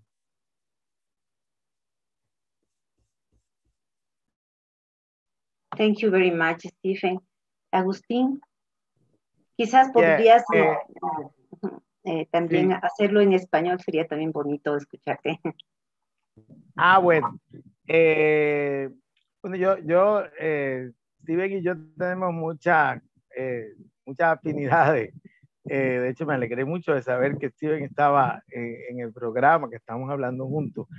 Eh, sí, me parece que, que una manera de, acercarse a las dos preguntas sería referirnos a, lo que decíamos al principio de la presentación del giro de colonial, que, que es, es, es, es, una voluntad, es, esa eh, esa expresión giro que, que, viene originalmente de la filosofía, ¿no? El, el, giro pragmático, eh, que para romper con el carácter abstracto de la filosofía, eh, el, el, giro cultural, que para, para, romper con el, con el estructuralismo y el economicismo, que se vino en, relación a los estudios culturales. Eh, y cuando comenzamos a hablar, que, que, creo que fue Nelson Maldonado Torres, de el, el giro de, de, de, colonial, que yo le llamo descolonial, eh, lo, que, lo que pretendíamos era el, el, el darle esa, esa, esa, envergadura, ese carácter profundo, eh, ese alcance esa pretensión en el buen sentido de, la palabra eh, de cambio eh, a todos los niveles, en lo ético político, en lo epistémico. y eso implica, eso implica, como muy bien dice Enrique Dussel, escuchar, escuchar aquellas y aquellos que han sido definidos en el episteme y en las estructuras de conocimiento, en las estructuras de poder eh, hegemónicas en Occidente, en la modernidad capitalista, eh, como las otras y los otros. Eh, eso, eso es lo que también Boaventura de Sosa Santo, y estoy citando porque esos son los referentes que me parece importante acá, eh, eh, en, eh, esta, esta voluntad profunda de cambio que, que, hemos venido cultivando por mucho tiempo. Ahora mucha gente a través del mundo, lo que Boaventura de Sosa Santos le llama la sociología de las emergencias. La sociología de las emergencias, que es el, el, el visibilizar, el cultivar, el reconocer, el trabajar a partir de eh, las formas de ser, de saber, de existir, de hacer, de relacionarse de la mayoría de la gente que vivimos en el mundo. Eh, por eso eh, Boaventura opone la sociología de las emergencias a la sociología de las ausencias, que es lo que ha promovido ese, esas estructuras de, de, poder y de conocimiento occidental. La sociología de las ausencias es el cultivo activo de la ignorancia, de la forma de ser, de hacer, de saber, de existir de la mayoría de la gente que vivimos en el planeta. Entonces, eh, aquí para, para, para cambiar la manera en que vemos el mundo, eh, la manera en la cual nos entendemos, existimos, actuamos, nos relacionamos en el mundo, porque no solamente es el ver. Eh, esa es, esa dominación de la vista es, es parte de, del epistema occidentalista, ¿no? para que esos sentipensares eh, puedan aflorar, es necesario entonces el, el, esa, esa, eh, esas alianzas, esas relaciones, el cultivo de esas relaciones translocales que dice Steven. Eh, y a mí me gusta más hablar de lo translocal que de lo transnacional o que de lo global también. Porque es, es, es, es, es desde, desde la, la, en los lugares de vida de las mayorías, eh, el, cultivar eh, esa sabiduría, esos sentipensares. Eh, y eso implica un alto nivel de humildad para las academias. Y eso es algo que tenemos que aprender. Estamos en un foro académico y tenemos que ir más allá de la transdisciplinaridad. La transdisciplinaridad es importante, Eh, Luis Gordon, de una manera, el filósofo jamaiquino Luis Gordon, eh, plantea una provocación que me parece genial en, en, en, un libro que se llama Against Disciplinary Decadence, en contra de la decadencia disciplinaria, precisamente para, para hacer una crítica frontal de, de, de, las disciplinas. Y las disciplinas siempre, como Foucault, tienen, como en Foucault, tienen un sentido de disciplinar. Eh, es un sentido de organizar el conocimiento, encajonarlo en una camisa de fuerza. Y estamos tratando de ir más allá de ello, pero eso no solamente tiene un sentido epistémico, eso tiene un sentido ético-político. Así que esta, es, eh, el indisciplinar, eh, que implica un sentido de transgresión, que es, la, eh, que es el sentido de lo político que yo planteaba cuando hablaba de, de de Luis Tapia. O sea, lo político como transgresión, como transformación, como cambio. Entonces aquí hay una relación íntima entre este, este, esta necesidad de la escucha múltiple, de la humildad y de trascender el, el, saber y el quehacer, el modo de producción y comunicación de conocimientos disciplinarios. Ahí, ahí lo dejo. Muchas gracias, Agustín. Eh, justamente mm, por ahí yo estaba pensando en eh, cómo, cuáles son, cuál es tu, tu, propuesta metodológica si nos pudieses compartir eh, de traducción justamente, ¿no? Cómo tú haces esa, esa traducción, por ejemplo, dentro de tu libro eh, abordas eh, el tema del tambor, ¿no? Pero el tambor ya no se queda solamente como un hecho estético eh, maravilloso, sino que también lo, lo vuelves episteme. Me parece eso que es un, un trabajo eh, sumamente sesudo y muy creativo. Eh, ¿Podrías quizás compartirnos algo de tu metodología en tu último libro, que es un ejemplo de cómo se puede hacer estas transformaciones de propuestas eh, desentensares?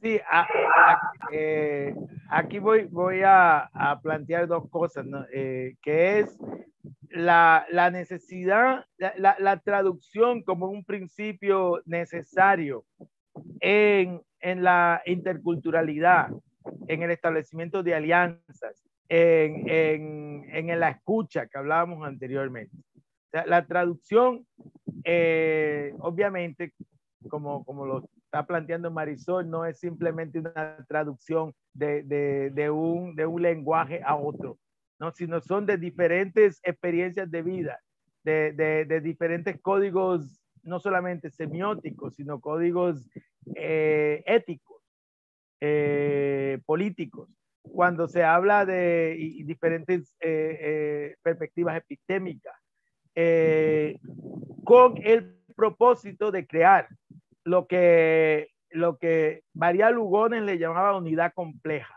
O sea, el construir núcleos comunes entendiendo las diferencias. O sea, una, una de las de, de, de, de, la, de, de las riquezas, una de, de, de las contribuciones mayores a, a, a, las racionalidades políticas emancipadoras eh, en, en, en, los últimos años, en, la, la, lo que Guaventura ha llamado la reinvención de la emancipación, ha sido precisamente el principio de la diferencia como, como un, un sustento eh, clave para el, lograr equidad, para lograr justicia y para lograr eh, democracia sustantiva.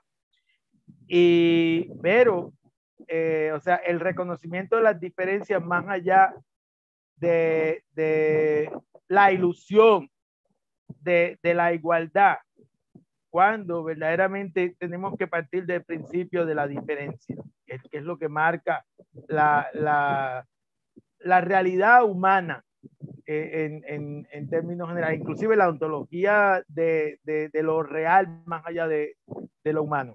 Eh, y el principio de la diferencia implica el crear formas de, de comunicación y formas de, de, de crear alianzas para que a partir de esos núcleos comunes eh, podamos encontrar eh, cómo actuar en conjunto, cómo actuar colectivamente a favor del bienestar pluriversal, más que, más que, más que universal. ¿no?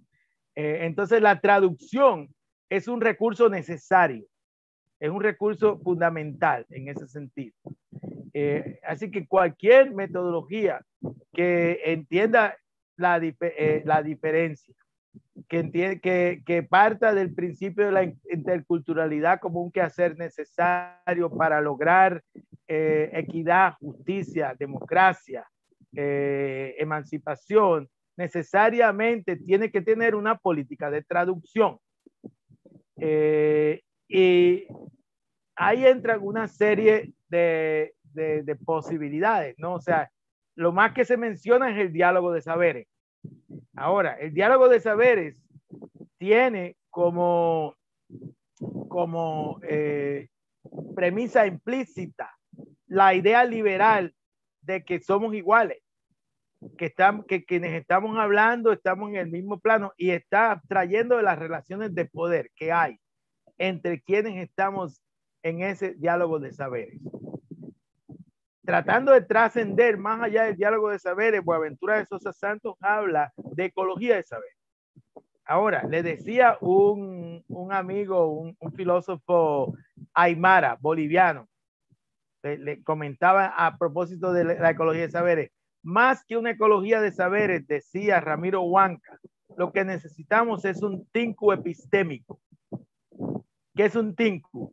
Un tinku es una fiesta aymara que comienza como una lucha, inclusive física, y termina con, con una armonía a partir del reconocimiento de cada uno y cada una de las personas que entraron en esa lucha, entendiendo las diferencias, entendiendo los conflictos, pero construyendo a partir de eso. Entonces, la traducción como cinco epistémico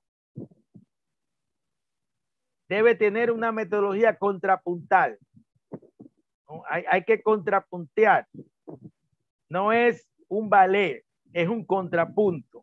Es, es eh, cultivar el que se discutan, se diluciden, se reconozcan las diferencias y a partir de eso crear unidad compleja.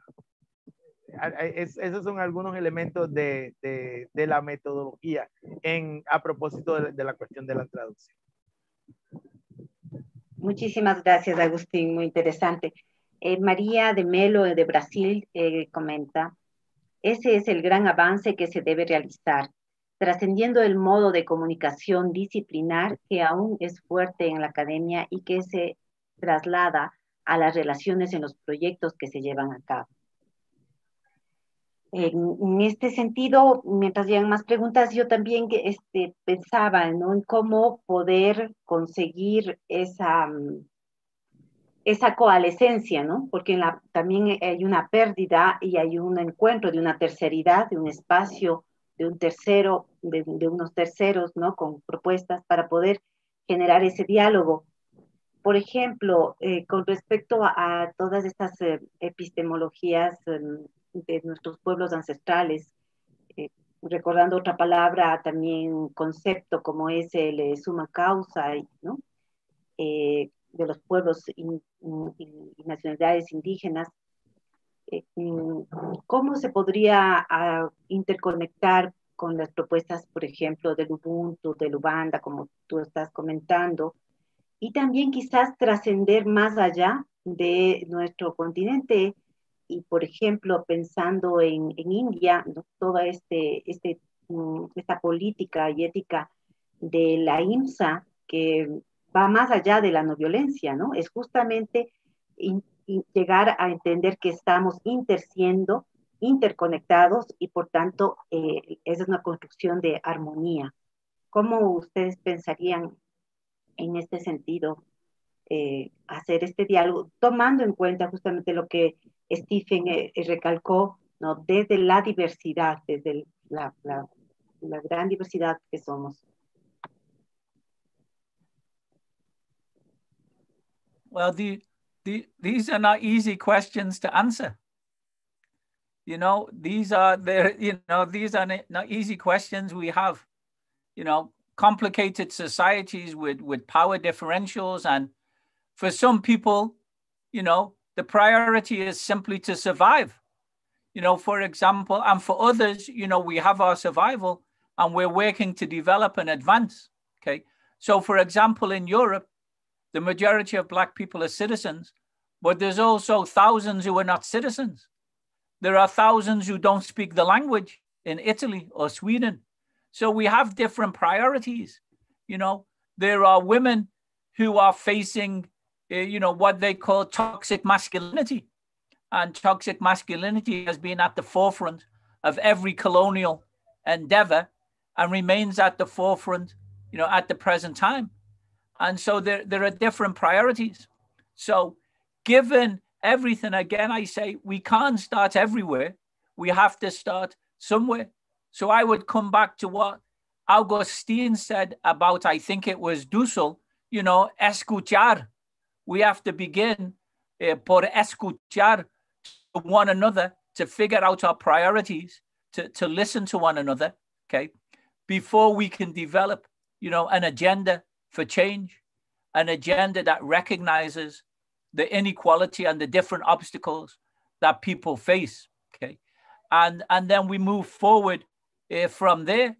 And you know what what I say to people is that you know it, it, it's better to start with with small projects and build them up successfully, build up the alliances, build up the collaborations, because you know Augustine shared the data on inequality across Latin America, on inequality across the United States, on inequality across Europe.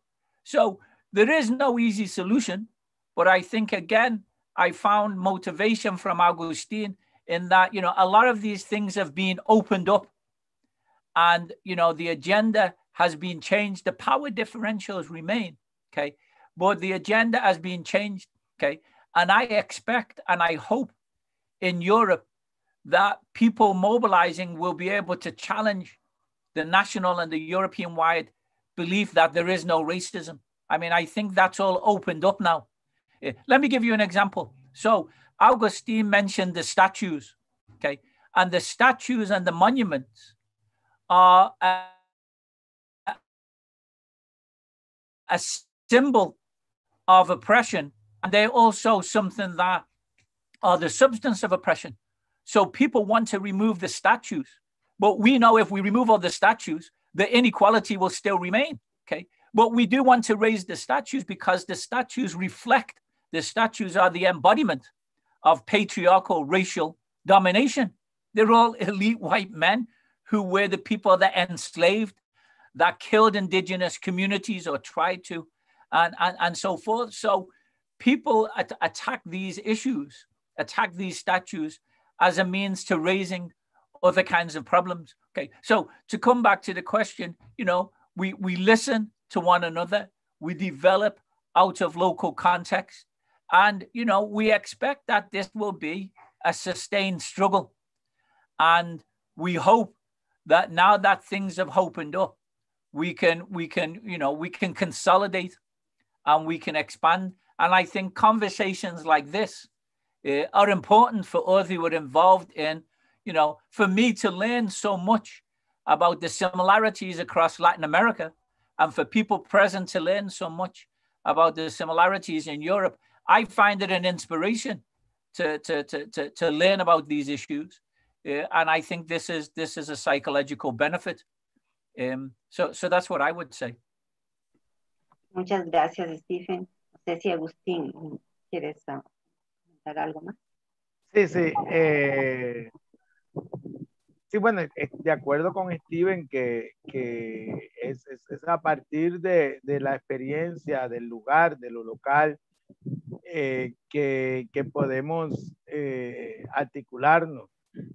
Eh, que eso es fundamental y eso implica un, eso, eso, eso, tiene, aquí hay un principio metodológico de carácter ético político que lo, lo planteó un, un, gran cientista social colombiano que se llamó de este territorio donde yo estoy, yo estoy hablando de Barranquilla, Colombia, que se, se llamaba Orlando Falsborda, que fue el que, eh, que planteó eh, la, la, investigación acción participativa.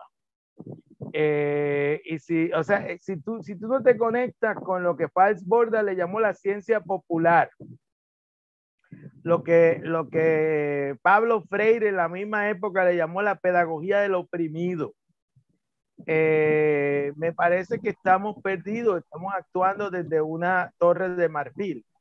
Eh, eh, si no estamos dispuestas a aprender de, de, de esos espacios sociales que muchas veces venimos de ellos, pero no permanecemos en ellos cuando somos intelectuales académicos. Eh, eso yo creo que es muy importante para lograr lo que plantea Steven.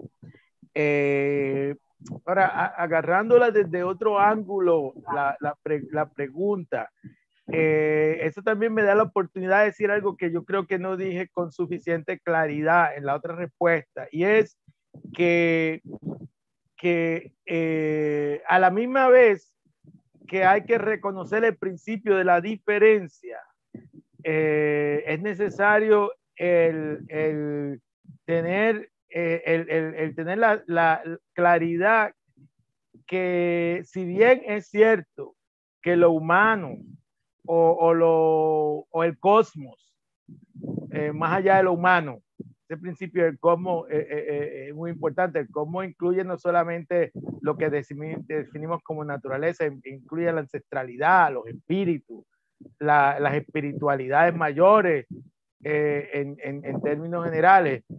Eh, lo que existe que puede ser visible o puede ser no visible, eh, que, en, en, que hay comensurabilidad entre las diferentes cosmogonías. Que, que, que entonces tú puedes buscar la manera de, de, crear comensurabilidad entre el Ubuntu y el Suma Causai, el Suma Camaña eh, y otras, otras eh, cosmovisiones que plantean una, que, que, que si hay algo que tienen en común, las cosmovisiones no occidentalistas, eh, y yo no hablo de Occidente como, como, como una civilización en el sentido de como una cultura. Es es, es, es la creación de, de, una ideología de dominación. ¿no? Eh, porque en Europa también se pueden encontrar cosmogonías no occidentalistas en Europa, en la Europa histórica. ¿no? Un poco lo que nos plantea Steven es otra visión de Europa, ¿no? una diversificación de lo que significa Europa. Y, o sea, por eso es interesante los, el atractivo que tiene el giro descolonial en Europa. Una crítica del occidentalismo y del eurocentrismo en el mismo corazón de la blanquitud, en la misma Europa. Y en ese sentido es importante el, el, el, el reconocer entonces eh, cuáles son los núcleos comunes. Eh, la solidaridad, eh, el sentido de pertenencia múltiple, eh, eh, el sentido holístico y, y, cosmogónico a la misma vez que se entiende la diferencia y la diferenciación. y eso se puede ver en ejercicios que han hecho, por ejemplo, en espiritualidad comparada, intelectuales del calibre de Mircea Eliade. tú lo puedes ver en los arquetipos de Carl Jung. Eh, o sea, para dar ejemplos concretos de, de, ese tipo de quehacer. Entonces aquí me parece que es importante también no caer en un relativismo culturalista, eh, sino ver cuáles son las fuentes de comunalidad y de convivialidad. Y entre esas fuentes, eh, pues está el principio de la solidaridad, eh, de la supervivencia, como decía Steven. Eh, que, deben fundamentar entonces otro contrato mundial de carácter distinto al que hay hoy día, que, que es lo que, a lo que aspiramos. Muchísimas gracias. Eh, vamos entonces eh, con estas eh, palabras tan inspiradoras a cerrar esta mesa. Thank you very, very much for your presence in this Congress and um, um, continue the next roundtable. Thank you. Thank you, Agustín. Thank you, Stephen. Y H, a ustedes y a todos. H. Ok, gracias. Gracias, Stephen. Gracias, Agustín. Bueno, entonces continuamos. Muchísimas, gracias, Marisol, por, por, la gestión y por, por el trabajo eh, y por, por, tu liderato intelectual también. Muchísimas gracias, Agustín. De, de, de mi parte digo la, la, de mi parte digo la misma cosa que la misma cosa que cosa que, que Agustín. Muchas gracias. Muchísimas gracias a ustedes. Muy agradecida con su presencia. Bueno, entonces eh, vamos ahora a trabajar esta misma temática ya con respecto al tema del urbanismo, con unos ejemplos mm, significativos de este diálogo entre la naturaleza también, eh, con la arquitectura, los espacios, eh, la urbanidad y el tiempo-espacio tan hermoso. Entonces vamos a iniciar presentando al siguiente ponente que es Carlos Sierra, él es doctor en Sociología de la Ciencia por la Universidad del País Vasco, Euskal Herriko Universitatea, eh, UPB, EHU. Es investigador postdoctoral en Postdoctoral Research Fellow en la Royal Holloway, eh, Holloway University London, eh, UK y en el em, Research Institute for Life Course Studies en la Universidad de Yili en Yuki. Eh, tiene trabajos relacionados con la visualización científica, modelos eh, representacionales de la medicina occidental y lógicas epistemológicas de la tecnociencia contemporánea. Es miembro de la European Society for History of Science de la European Association for History of Medicine and Health, miembro de la Asociación Internacional de Sociología y AIS, International Sociological Association, y de la EAJS, European Association for Japanese Studies. Es coordinador del Núcleo Internacional de Pensamiento en Epistemología Ambiental y es director de la revista académica Cosmotheoros International of Journal of eh, Environment Epistemology.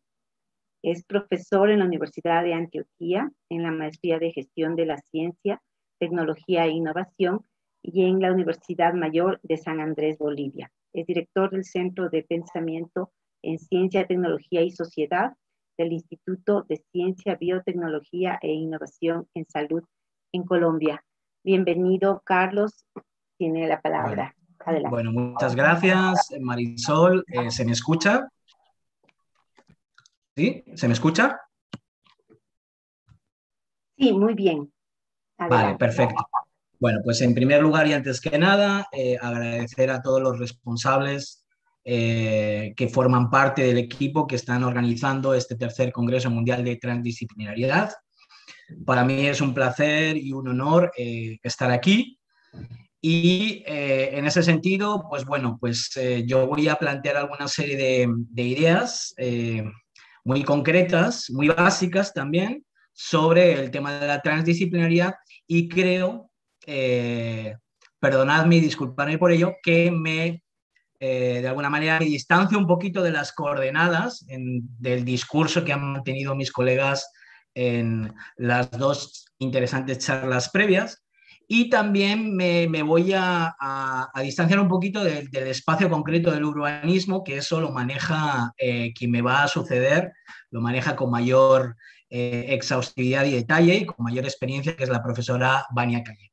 Lo que sí voy a plantear es, es alguna serie de ejes de reflexión en torno al campo de la epistemología, relacionado con las sociedades tecnocientíficas, eso que se ha denominado tecnociencia, y pondremos eh, el ejemplo de la biomímesis, que es un enfoque, no es una ciencia, es un enfoque transversal, emergente, como ejemplo de, eh, pues bueno, de producción tecnocientífica y además las problemáticas epistemológicas que conllevan también la biomímesis.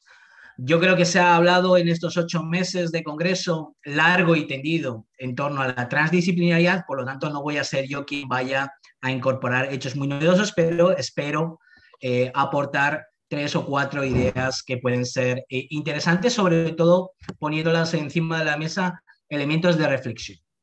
Bien, entonces, eh, bueno, mi charla tiene que ver con las sociedades tecnocientíficas y en ese sentido me gustaría anticiparles ese concepto que se maneja, que es el concepto de tecnociencia. En realidad se habría podido elegir otros conceptos más, ¿no? en ese sentido, la academia es muy creativa y además cada académico apelando al ego y al orgullo, pues quiere poner su propia terminología a cambios, transformaciones que se están eh, sucediendo en, la actualidad, en el pasado o quizá en el futuro. Pero eh, quizá el término que eh, más aquiescencia y proyección ha tenido en estas últimas décadas para explicar lo que está sucediendo en torno a la ciencia es este concepto eh, que tenemos ya en pantalla, que es el concepto de tecnociencia. En realidad, eh, pues nil novum subsole, ¿no? Nada nuevo bajo el sol, en realidad es un término nuevo para analizar los orígenes y las raíces de este concepto. Nos tenemos que remontar unas décadas antes a uno de los filósofos de la ciencia de la corriente francesa más destacados, que es Gaston Bachelard, y ese término lo encontramos en uno de los libros más destacados de este, de este filósofo y epistemólogo en 1953 en, la obra titulada El materialismo racional, pero después ha sido proyectado eh, por otra serie de filósofos como Gilbert Hutois y finalmente ha sido eh, universalmente popularizado por Bruno Latour.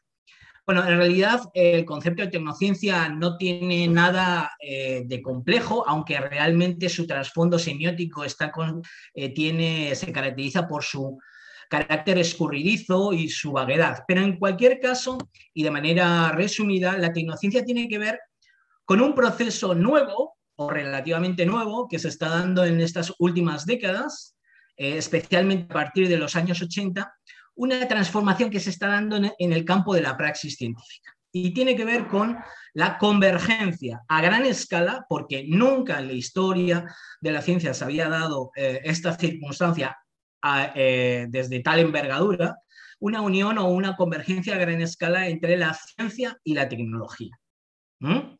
Eh, habíamos pasado diferentes etapas en la historia de la ciencia, desde esa praxis científica más individualista o más minoritaria entre, entre sujetos que se carteaban hace algunos siglos. Después pasamos a una big, eh, una big science, una ciencia grande, sobre todo a partir de la Segunda Guerra Mundial, en donde se realizan grandes inversiones en ciencia y en tecnología y se establecen grandes infraestructuras, grandes logísticas, que dan lugar a los grandes megaproyectos eh, pues de las décadas del 50, 60, 70.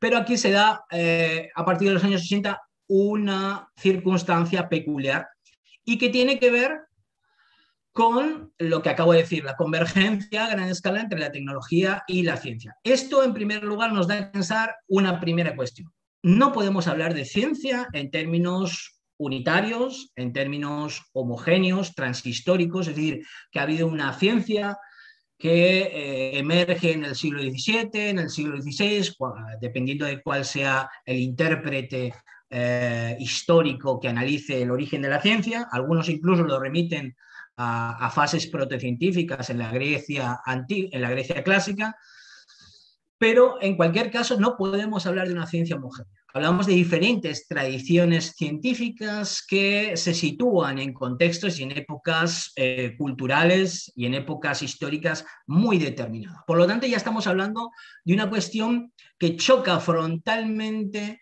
con la narrativa convencional a la hora de explicar la ciencia. que se estudia no solo a través de los manuales clásicos de historia, sino que se estudia también en los espacios universitarios convencionales. Estamos hablando de que la ciencia es diversa y es diversa a la hora de, desarrollar sus propias perspectivas y en el caso de sus propias tradiciones.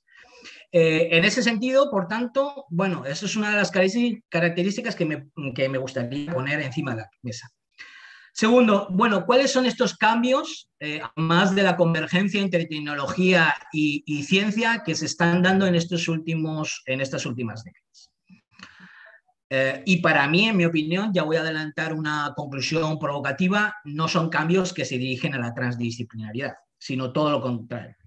Bueno, en primer lugar, hay cambios en los espacios de producción e institucionalización de la práctica científica.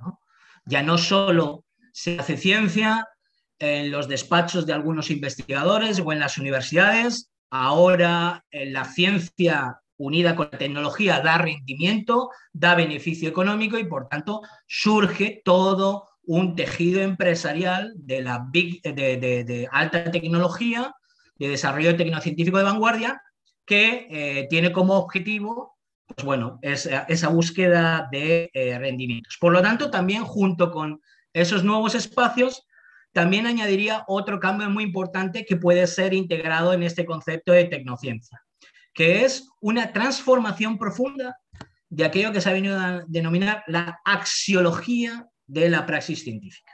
Es decir, ya la ciencia no es un sistema de conocimiento, por lo menos en términos generales, ¿eh? un sistema de conocimiento que produce modelos que describen el mundo de cara a conocerlo mejor. No, la tecnociencia eh, plantea que la ciencia es un medio para qué? Para conseguir una serie de desarrollos tecnológicos que deriven en la transformación del mundo. Por lo tanto, cuando hablamos de axiología, que de manera prosaica significa la finalidad y el objetivo, estamos hablando, por tanto, de que el propio sistema de conocimiento científico se altera profundamente a partir del fin al que está dirigido. Y el fin de la tecnología es muy diferente al fin de la ciencia clásica. Por lo tanto, no es lo mismo la ciencia que se está desarrollando en estos últimos, eh, en estos últimos años que la ciencia que hacía, por ejemplo, Einstein, Heisenberg en las primeras décadas del siglo XX y, por supuesto, no tiene absolutamente nada que ver en términos epistemológicos con la ciencia que practicaba Newton, que practicaba Robert Hooke o que practicaba eh, Boyle. Tercera característica fundamental que a mí me interesa destacar es que eh, junto con la finalidad hay una mutación también de gran calibre en la propia naturaleza y en la priorización de las cualidades o virtudes epistémicas. Cuando hablamos de cualidades epistémicas, hablamos de esas características que mueven el conocimiento científico y que no son universales. Esto lo quiero destacar también. No son universales, sino que surgen en un momento determinado, tienen mayor aquiescencia o mayor proyección en una época determinada y en algunas ocasiones eh, bajan, o sea, son secundarias, acaban eh, evolucionando a un plano mucho más secundario frente a otra serie de cualidades epistémicas. Por ejemplo, la objetividad. La objetividad no atraviesa históricamente toda la ciencia. La objetividad fundamentalmente eh, tiene preeminencia en una forma de hacer ciencia que surge a mitad del siglo XIX. Antes la objetividad no estaba presente en ninguno de los textos, manuales o discursos de los científicos del siglo XVII o siglo XVI que daban mucho más preeminencia a, otras cualidades epistémicas como pueden ser la precisión, la autenticidad, la exactitud. Bien, pues en este caso, las cualidades epistémicas son más pragmáticas para el campo de la tecnociencia. Es decir, hablamos de aplicabilidad de la ciencia. Y estamos en un escenario casi global en el que lo que no es aplicable no tiene interés, no importa. Por lo tanto, eh, esta es una transformación que caracteriza a la tecnología que además es sumamente importante. Y finalmente, un cuarto cambio que es cambios de envergadura en los procesos de organización de las praxis eh, científicas. La tecnociencia se ha visto eh, afectada por la globalización. En estos momentos se pueden realizar investigaciones mediante una compresión a través de las tecnologías de comunicación, se ha comprimido el espacio y el tiempo, se pueden realizar eh, investigaciones eh, en todos los puntos del planeta, incluso se pueden dividir los equipos de investigación y desarrollar estos procesos de investigación en diferentes partes del planeta de manera simultánea. Pero hay que destacar también que si bien la tecnociencia se ha visto afectada por la globalización, la tecnociencia a su vez y de manera simultánea es motor de todos los procesos de globalización que estamos experimentando, a través de tecnologías que de alguna manera, como ya he dicho, empequeñecen o simultanean las coordenadas espacio-temporales. El ejemplo más claro es el celular o el móvil, depende de cómo se diga, que es un desarrollo, una innovación tecnocientífica que ha transformado profundamente nuestras relaciones sociales y humanas a escala planetaria.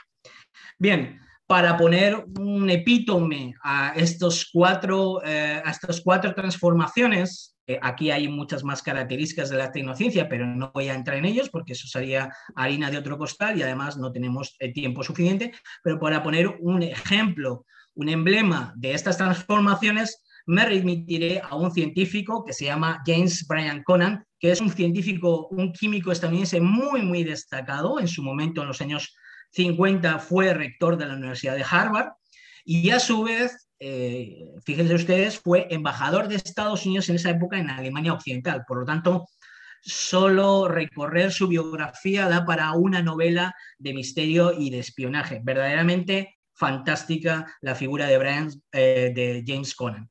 Pero él dice en sus escritos que él está percibiendo un proceso de transformación del rol del científico. Eh, durante los años 40 y de los años 50. El científico se convierte, en esa época se va transicionando al desempeño del rol de un inventor, de un ingeniero. Ya no hay científicos, sino que hay ingenieros. Por lo tanto, ya no se trata de establecer modelos descriptivos del mundo, sino prácticas de transformación del mundo.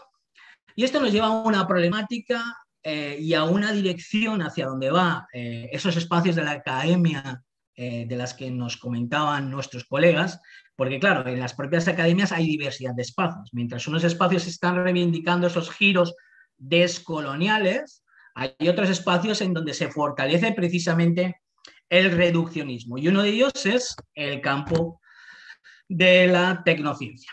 ¿Qué es lo que nos aporta eh, en estas transformaciones esta evolución hacia parámetros o paradigmas tecnocientíficos. En mi opinión, una narrativa altamente reduccionista que impide llevar a cabo uno de los primeros pasos para alcanzar eso que se ha llamado la transdisciplinaridad, que es de alguna manera acercarse de manera realista y compleja al mundo interno de cada una de las disciplinas. Porque en el campo de la ciencia cada una de las disciplinas en estas últimas décadas se ha explicado de manera esquemática y altamente reduccionista. Esa es una de mis, primeras, de, mis primeros planteamientos. Eh, ¿Y qué significa eso? Que la tecnociencia, uno de los efectos que tiene la tecnociencia es que está estrechando, aligerando, empequeñeciendo la propia espesura, el relieve, la profundidad de la propia ciencia, ¿eh? Del propio horizonte del universo científico, hasta la escualidad más exánime. Por ejemplo, una de las derivas del avance de este paradigma tecnocientífico que está asolando todas las universidades y centros de, universidad, de investigación es la erradicación cuasi completa del contexto reflexivo filosófico.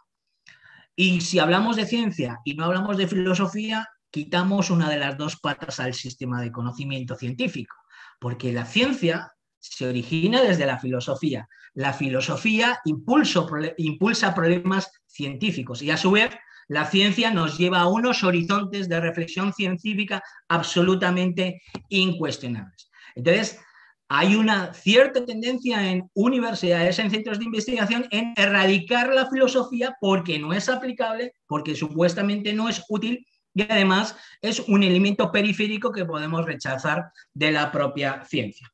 Este profesor que ustedes ven es Nuccio Ordine, eh, que es un profesor de la Universidad de Calabria, de Filosofía Antigua, y que tiene un libro eh, fantástico que recomiendo a todos ustedes, La utilidad de lo inútil, y está encabezando un movimiento eh, muy interesante de reacción en las universidades europeas, una corriente transversal que no solo se ubica en, en, los campos de las humanidades o la filosofía, sino en otra serie de campos, en defensa de los saberes humanísticos que han sido consideradas injustamente inútiles. Y además no solo eso, sino que se está erradicando de los programas docentes de la educación secundaria y por supuesto de los eh, cursos de posgrado en las universidades, porque, bueno, pues si no hay alumnos o hay muy pocos alumnos, no nos da rentabilidad y podemos desechar esos cursos. Cuando realmente digo e insisto, eh, en el que una aproximación más compleja de la ciencia nos desvela que las relaciones, los vasos comunicantes entre ciencia y filosofía han sido estrechos, inherentes, y es que forman el mismo universo de concepción del mundo y de la realidad.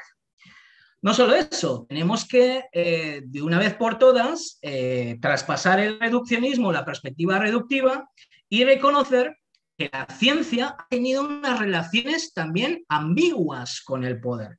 Esa visión que fundamentalmente surge en el siglo XIX de que la ciencia, a través de una metodología que, por cierto, muy pocas veces se ha utilizado eh, y se utiliza en las, en grandes innovaciones o hallazgos científicos, a través de la metodología lo que hace es establecer un proceso internalista que lo separa de factores sociales, de factores políticos, de factores económicos, etc todos somos conscientes, creo yo, que eh, uno de los, eh, de los resultados de esto que estamos pasando con la pandemia del coronavirus es que la ciencia, alejado de factores políticos o alejado de factores económicos, no ha estado en este proceso.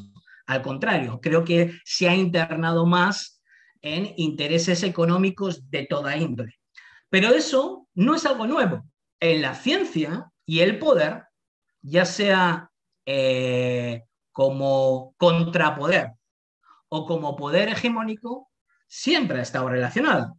Y aquí, por supuesto, vamos a mencionar uno de los grandes padres de la ciencia, eh, de la ciencia incluso empírica y aplicada, que es Francis Bacon, eh, donde, pues bueno, cuando en Meditaciones Sacra, en 1597, plantea la gran frase que es el conocimiento es poder, ipsa ciencia potestas est. Y esto es un emblema que ha atravesado la ciencia siempre, y no solo eso, sino que ha alimentado e inspirado a la filosofía política moderna, que está representada en uno de los grandes padres, que es Thomas Hobbes, y en el Leviatán, ¿no? Esa idea de que el que tiene conocimiento tiene poder ya está presente desde el origen en la propia eh, ciencia.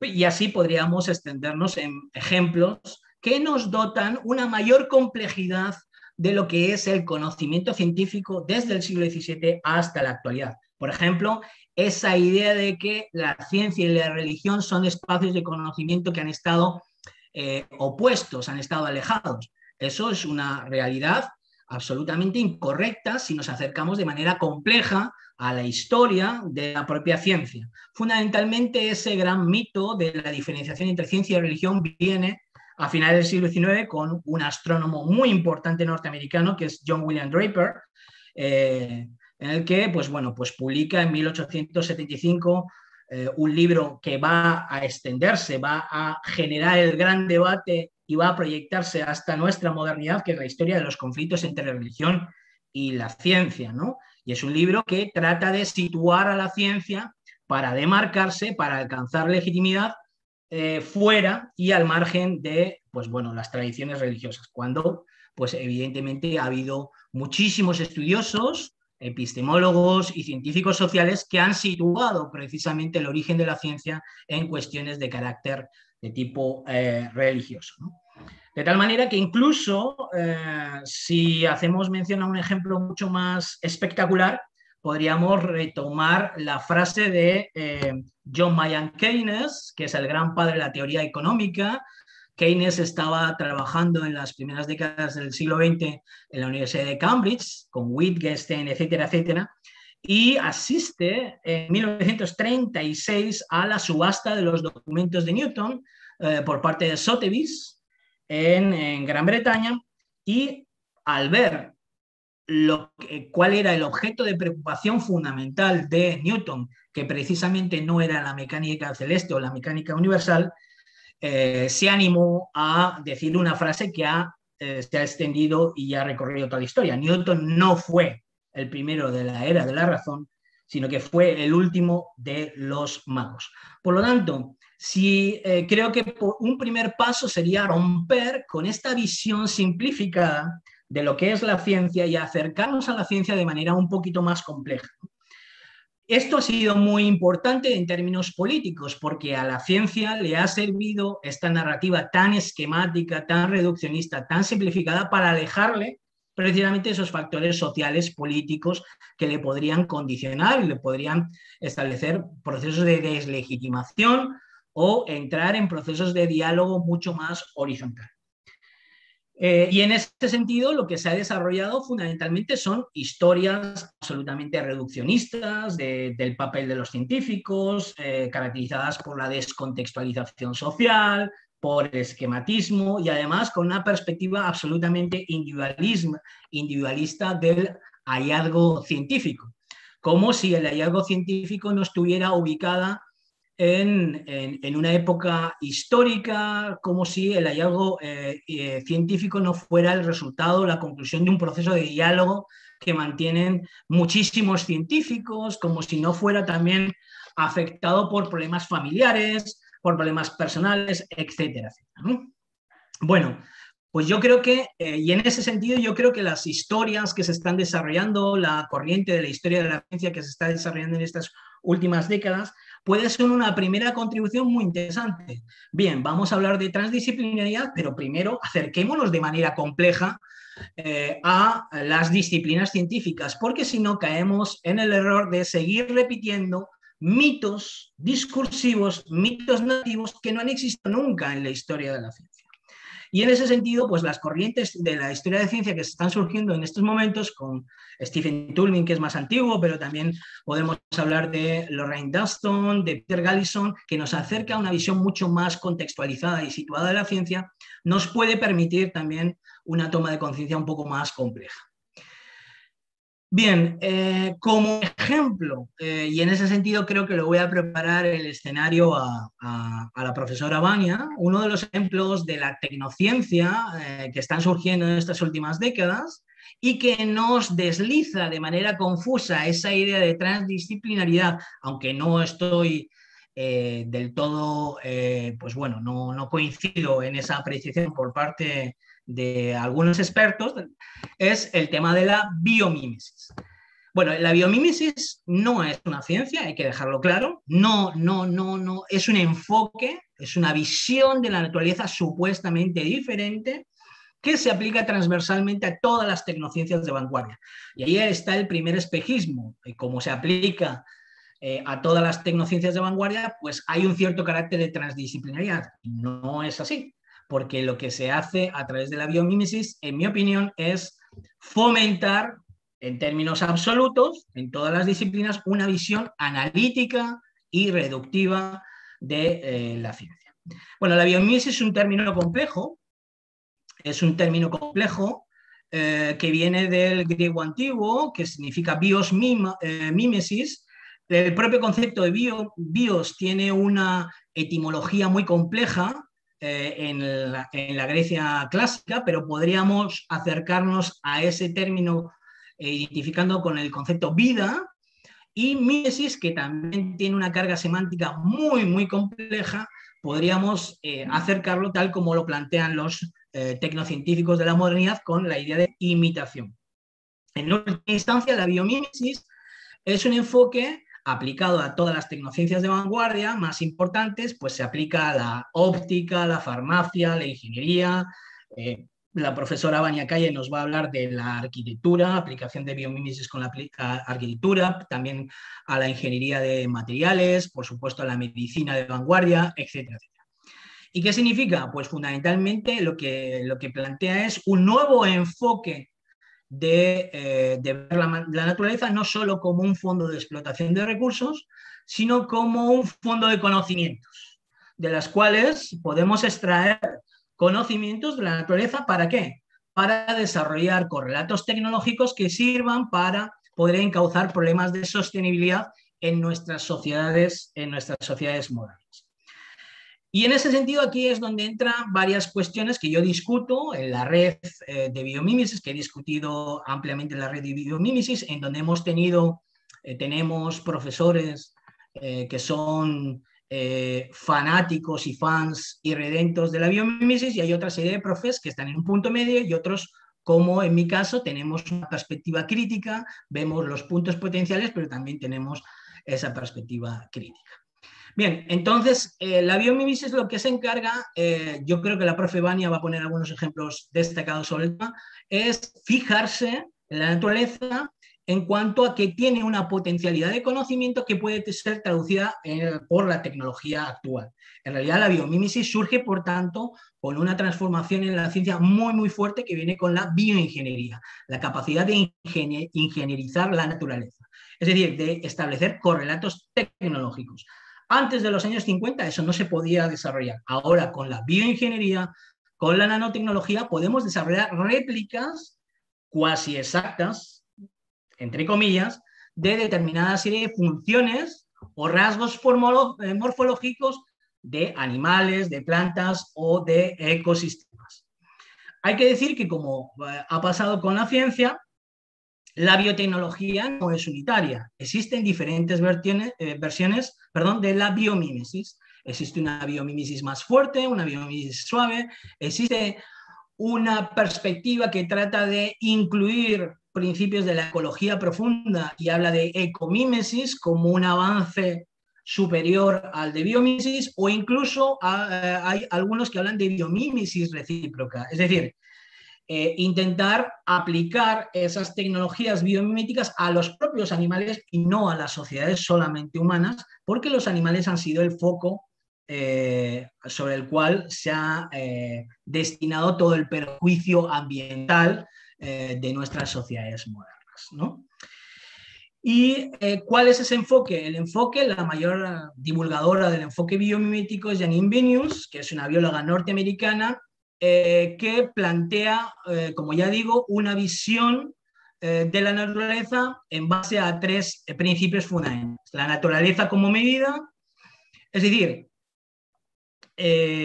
perdón, la naturaleza como medida, es decir, todos los procesos tecnológicos que sean contrarios a cómo funciona la naturaleza no pueden ser considerados procesos biomiméticos, sino que los procesos biomiméticos tratan de emular los procesos que eh, se desarrollan en la naturaleza, desde los más simples hasta los más complejos.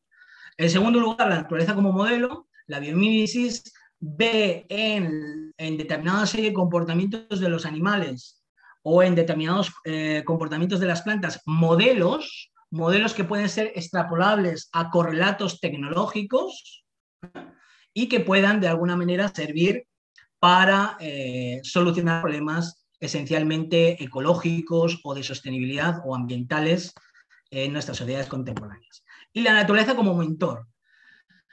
En este sentido, y ahí viene la visión reduccionista que tiene la biomimisis, eh, se plantea de que la naturaleza es un maestro, es un maestro para el hombre. Entonces tenemos que ser humildes. Ahora bien, la biomimisis eh, sofistica la imagen mecanicista tradicional de la ciencia esa imagen que inaugura Descartes y compañía y que habla de la naturaleza y del universo como una gran maquinaria con engranajes, y lo que plantea Janine Vinius y otros seguidores de la biomímesis es que en realidad la naturaleza funciona como un laboratorio de I más D más I. Y además un laboratorio que ha tenido éxito, no es lo mismo que los laboratorios humanos que también cometen errores. Y ha tenido un éxito de 4.800 millones eh, de años. Por lo tanto, la naturaleza lo que hace lo que nos ha demostrado es que todo lo que hace tiene éxito en el proceso de experimentación evolutiva, ¿eh? las consecuencias que genera, y por tanto es digno de prestar atención y verlo también como un fondo de conocimientos de los cuales nosotros podemos extraer soluciones fundamentalmente aplicadas y tecnológicas para nuestras sociedades humanas. Aquí pongo el ejemplo. Bueno, la biomimesis lo que hace es de puente entre la naturaleza y la tecnosfera y e intenta hacer emulaciones, inspirarse en la naturaleza para generar eh, productos tecnológicos eh, de aplicabilidad inmediata. Bien.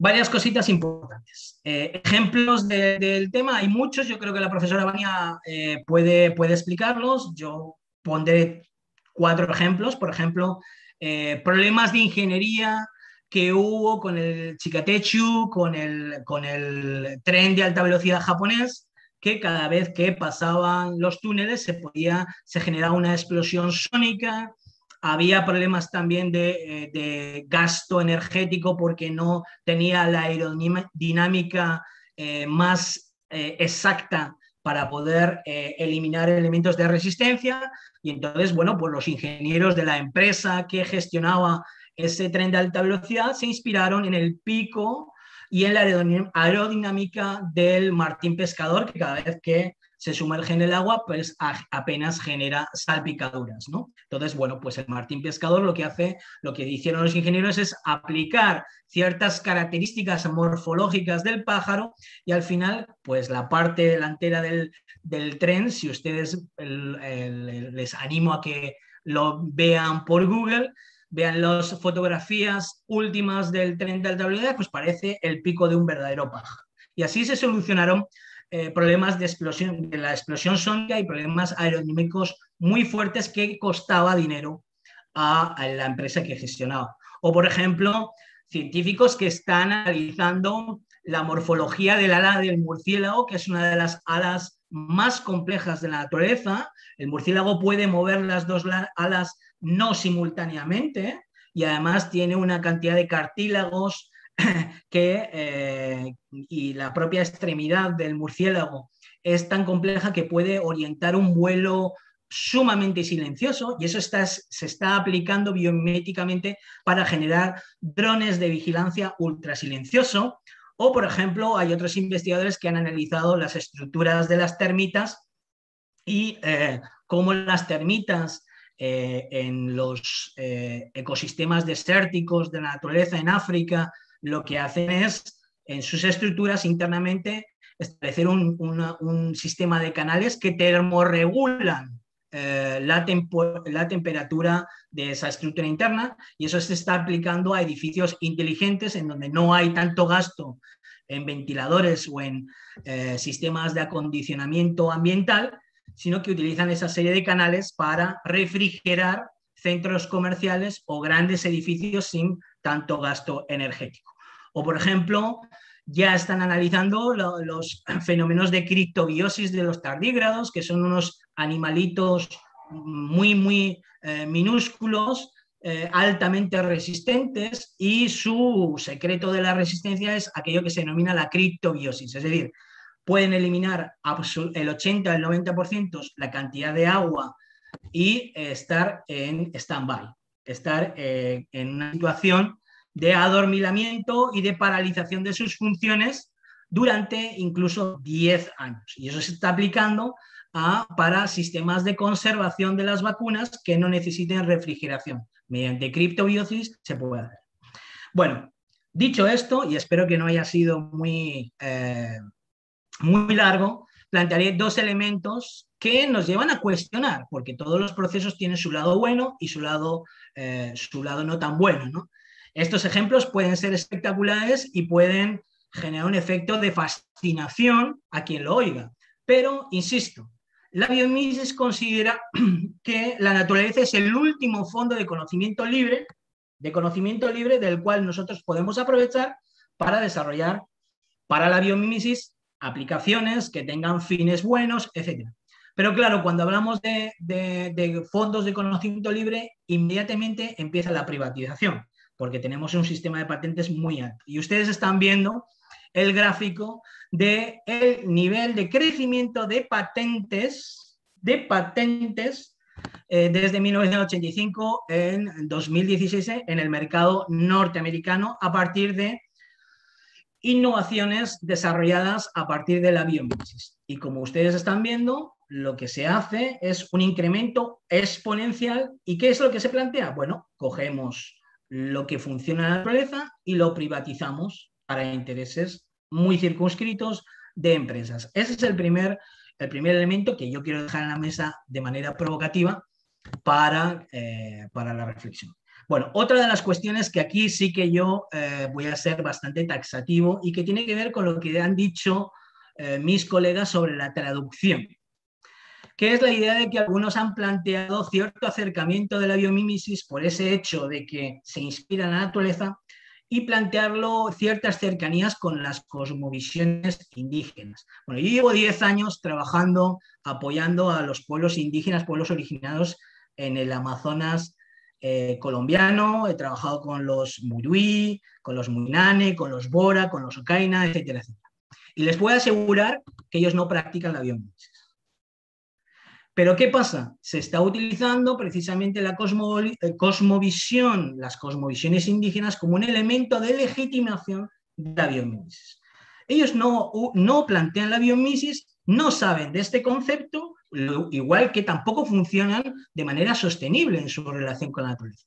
La sostenibilidad es un concepto que surge en los años 50, 60 como producto del fracaso del modelo de desarrollo económico occidental y entonces surge un concepto que además eh, no es un concepto muy crítico, sino un concepto que legitima de alguna manera el mantenimiento del modelo económico en base a la sostenibilidad. La biomímesis es igual porque la biomímesis surge de la bioingeniería y creo que los, eh, los pueblos originarios no están en las mismas coordenadas epistémicas que eh, ni la bioingeniería ni la biomímesis.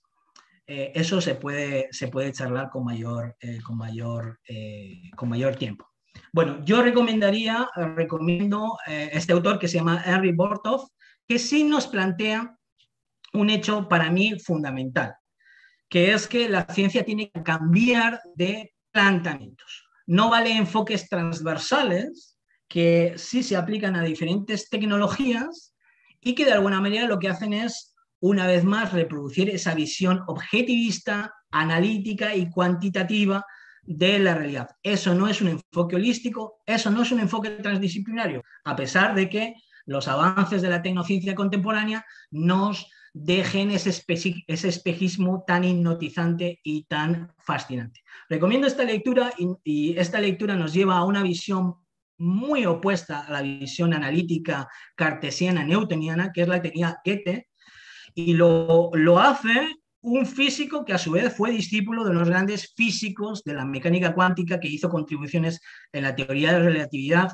en la teoría de plasma y en la teoría de la holoquinesis, que es David Bohm. David Bohm lo que, lo que plantea es que hay un orden fenomenológico explicado, pero que también hay un orden implicado. Hay una totalidad y la ciencia tiene que cambiar de enfoque, no solo tiene que cambiar de enfoques de aplicación, sino un enfoque profundo para ir a la totalidad de las cosas y por tanto a la complejidad. No importa que un enfoque sea transversal, eso nos, lleva, nos va a llevar a una visión más compleja de la realidad sino un fortalecimiento, una universalización del enfoque analítico, objetivista y eh, cuantitativista de la realidad. Y finalmente voy terminando, porque quizá me estoy un poquito, eh, yo plantearía que el conocimiento, el conocimiento no es meramente descriptivo, el conocimiento también debemos eh, reflexionar sobre cómo manejarlo, cómo gestionarlo, qué vamos a hacer con el conocimiento y más aún en nuestra época en el que el conocimiento cada vez es más aplicado. Estamos hablando, como al principio de mi charla, eh, de un modelo tecnocientífico. Por lo tanto, hablaría de una ética transdisciplinar. Transdisciplinar. Eh, una ética, ¿por qué? Porque todas las tecnologías de vanguardia, las más destacadas, estamos en un umbral que la mayoría de la ciudadanía no es consciente. Estamos dando un salto hacia una época en la que va a haber una gestión profunda de las tecnologías, no solo de nuestras sociedades, sino de nuestra propia naturaleza y de nuestra propia ontología. Voy a poner tres ejemplos. Este de aquí, ustedes lo conocen, es Elon Musk, el propietario de Tesla, pero también está financiando una eh, empresa de tecnociencia destacada que se llama Neurolink y que tiene que ver con la capacidad tecnológica para poder explorar y gestionar determinada serie de funciones neuronales de nuestro cerebro. Esto nos lleva a un, un, umbral muy importante y esto es lo que le lleva a los neurocientíficos chilenos a establecer un movimiento de reforma constitución, constitucional para que en la nueva constitución chilena se introduzcan los neuroderechos, es decir, la, el derecho a tener una intimidad psíquica y una intimidad mental, porque en estos momentos ya hay capacidad tecnológica, que se, en, el caso de 10, 20 años, para poder controlar, eh, poder mm, identificar ciertas trayectorias que tienen que ver con los pensamientos o estimular ciertas capacidades cognitivas en el propio ser humano. Esto es en el campo de la neurociencia, pero por supuesto podemos hablar en el caso de la biotecnología, en donde se están dando quimeras interespecíficas, es decir, la capacidad de introducir eh, células pluripotentes humanas en otra serie de animales. ¿Para qué? Fundamentalmente para generar órganos que sirvan para senotrasplantes, trasplantes, etc. Otro de los ejemplos que estoy planteando es cómo eh, la biotecnología es capaz de generar en estos momentos, en una fase primaria, eh, órganos tridimensionales a escala muy pequeña, pero en laboratorio. Estos son los organoides. A través de células pluripotentes se es capaz ya porque esto es una fotografía real, eh, de generar órganos tridimensionales a escala muy pequeña, órganos humanos. Es decir, ya se ha desarrollado organoides eh, de cerebro, organoides de intestino, organoides de retina, organoides de riñones. Y evidentemente estamos ante un umbral en donde la tecnociencia va a tener un poder muy fuerte. Por lo tanto, junto con, la, eh, con una idea de complejidad del conocimiento, también tenemos que abordar las cuestiones de bioética. Y así yo hablaría de que hay cuatro principios que son fundamentalmente destacadas eh, y que me gustaría subrayar. El principio de responsabilidad. ¿eh? Debemos ser responsables del conocimiento que manejamos y hacia dónde queremos ir. El principio de precaución. Es decir, si ante un hecho no tenemos pleno conocimiento de los efectos que va a realizarse, hay que parar el desarrollo tecnológico, el principio de autonomía individual y colectiva, ¿eh? nuestra capacidad y nuestro derecho para decir no, no a la aplicación de tecnologías o innovaciones tecnológicas, y finalmente el principio de justicia distributiva, que también es otro hecho importante. No todos hemos vivido la pandemia de igual manera, no todos hemos tenido accesos a recursos médicos de igual manera y en la tecnociencia, en términos generales, pasa igual. No todos vamos a tener acceso a esas innovaciones tecnocientíficas eh, de igual manera que otros. Bueno, eh, con esto termino. Espero que haya sido de interés. Simplemente añadir una pequeña frase de la primera médica italiana, que era María Montessori, y que me parece una frase muy interesante para acabar y una aportación a esta reflexión que ustedes están llevando a cabo desde hace ocho meses. Y María Montessori dice que necesitamos especialmente la imaginación en las ciencias. No todo es matemáticas, no todo es simple lógica, también se trata de un poco de belleza y de poesía. Muchísimas gracias por la atención. Muchísimas gracias a ti, Carlos. Muy interesante tu presentación. Eh, pusiste a debate toda una serie de dimensiones complejas. Vamos ahorita a escuchar unas palabras de Julieta Haider, puesto que nos va a tener que dejar en un momentito y em, se va a, despedir y de paso hacerte algunas preguntas eh, claves sobre este tema muy amable. Gracias, Julieta. Adelante. muchas gracias. Marisol, muchas gracias a todos los participantes. Yo creo que tanto la primera parte que presentan varios temas de mucha importancia para el mundo, ¿no?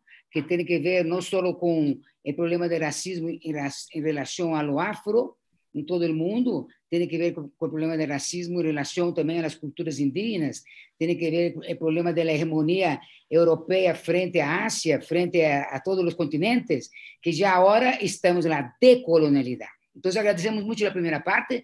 A segunda parte, muito brilhante, lo de Carlos, que de muito movida, porque me provoca e não posso quedar, Carlos. E também Vânia vai dar suponências, uma pena que não posso quedar, mas hice alguns comentários e, por supuesto, é provocativo e esse, o Congresso é para isso.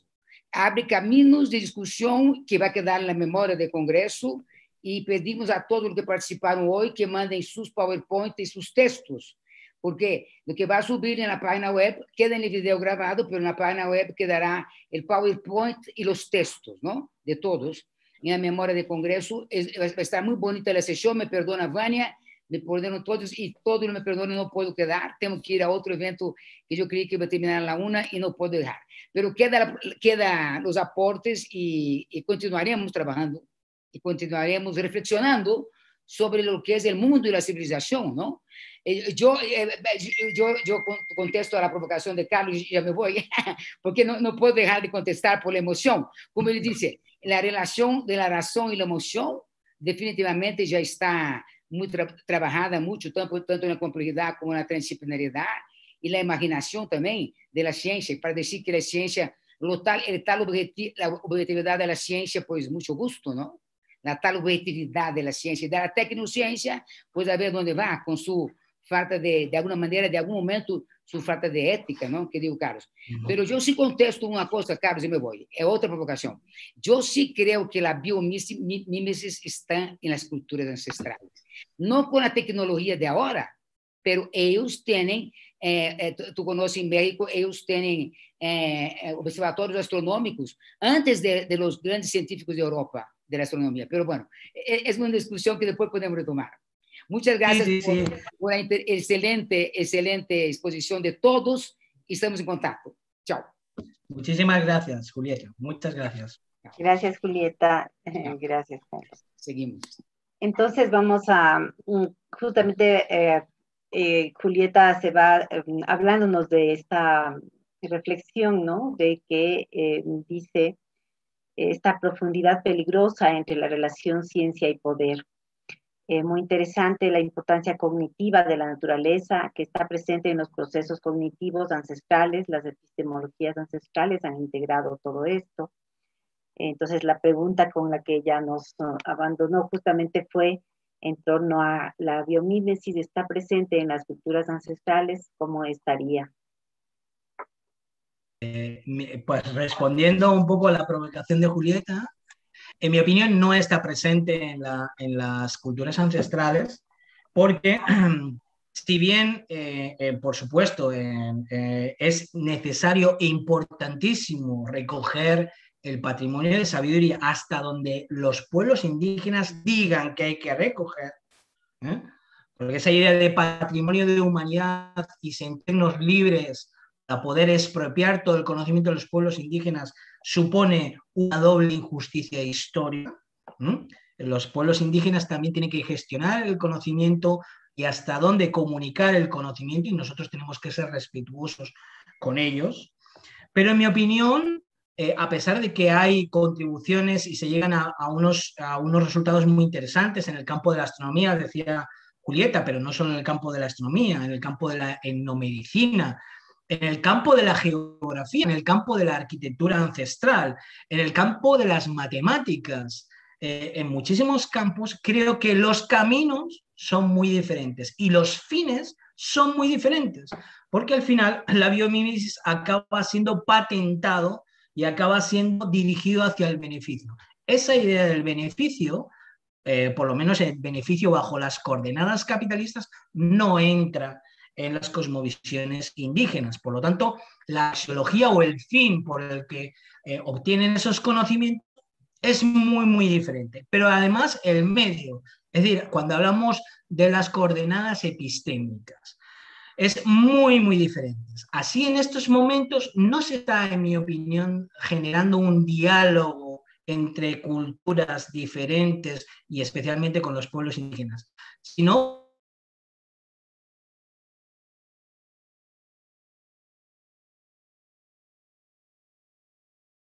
asimetrías epistemológicas.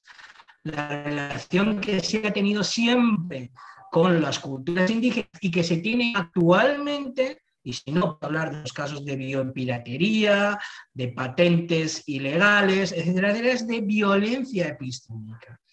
¿Y qué es lo que está produciéndose? Se producen efectos epistemológicos muy determinados. Por ejemplo, el occidental lo que hace es traducir en, términos cognitivos reconocibles aquello que hace, eh, que practican los pueblos indígenas.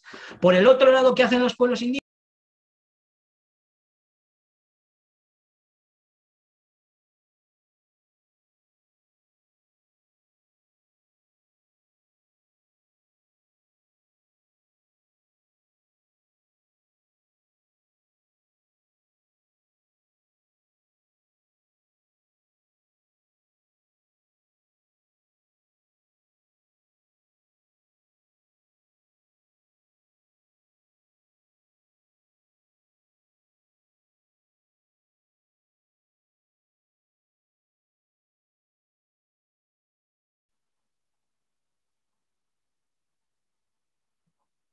Parece ser que tenemos un problema en la conexión.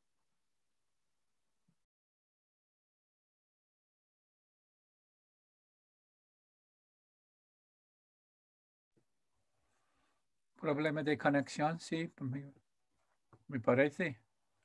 Ha desaparecido. Sí, eh, Marco Tulio, ¿podrías uh, ayudarnos?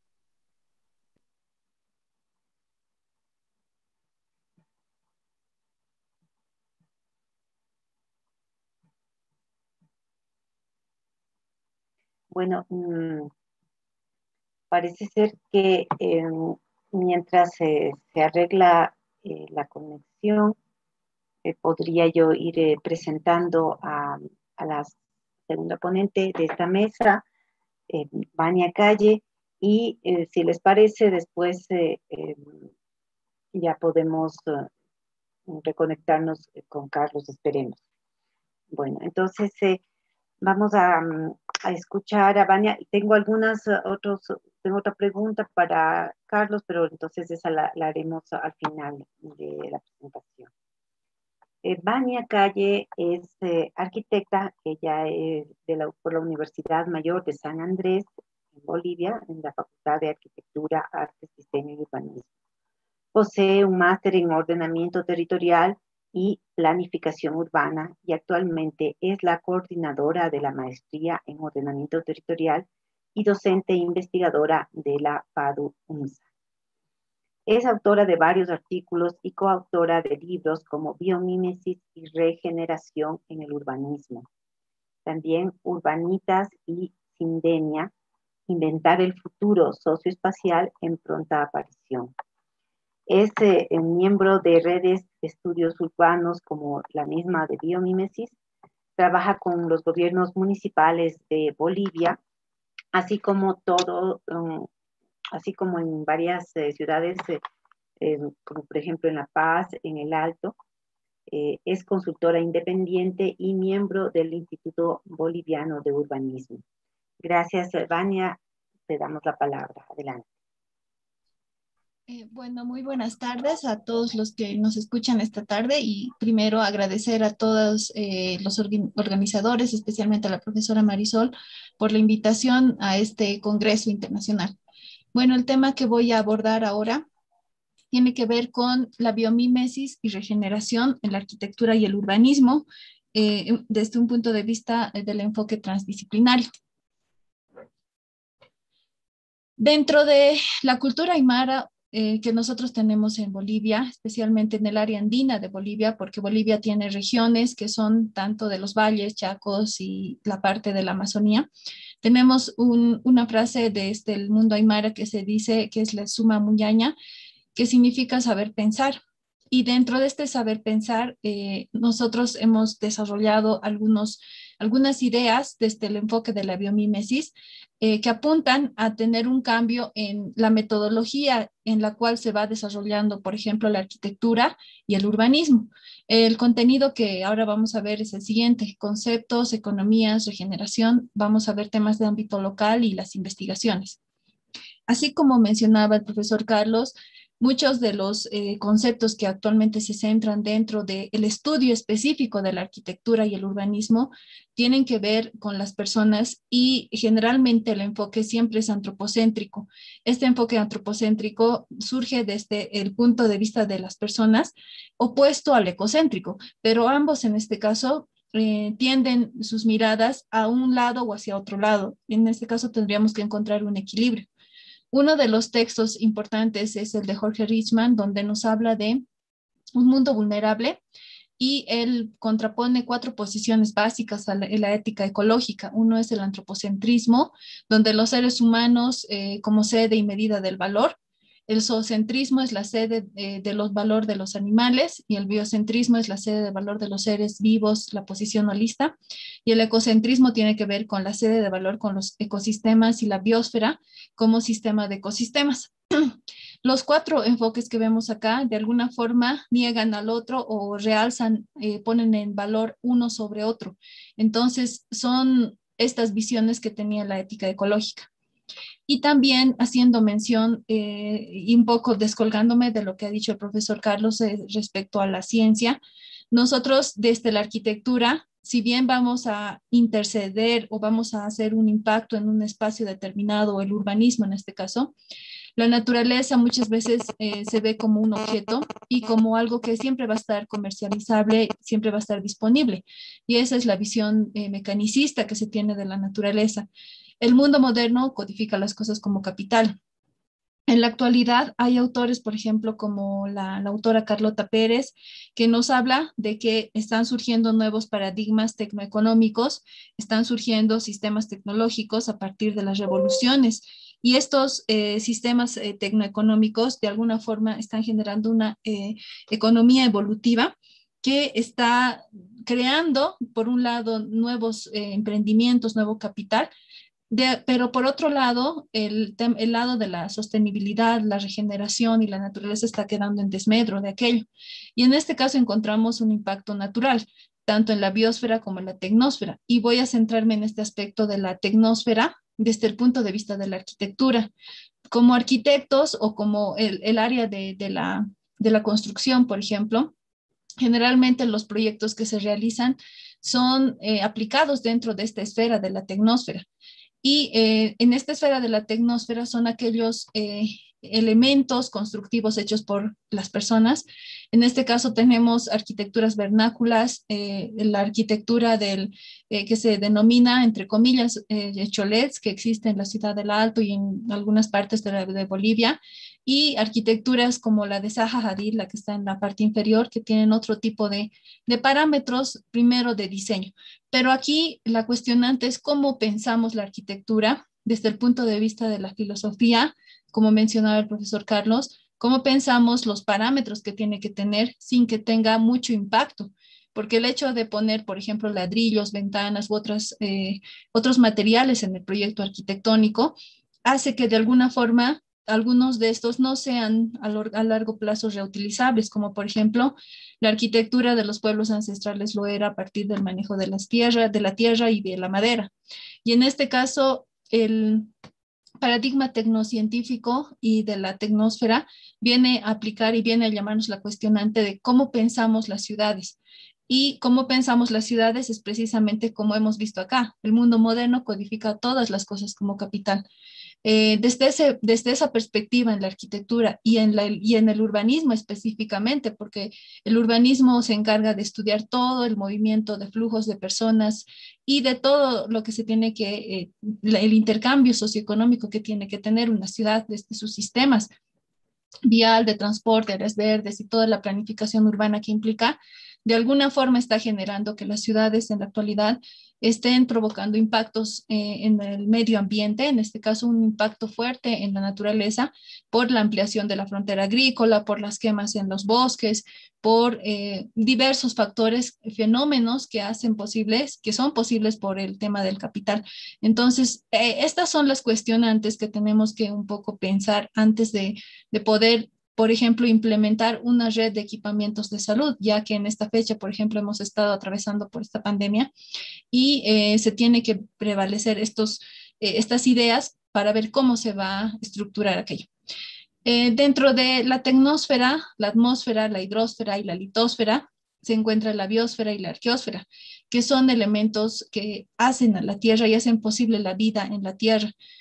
por ejemplo, la arqueósfera son rastros de actividad humana visibles desde el espacio en la superficie de la Luna y que desde la Luna se pueden ver los restos que se han dejado en la Tierra.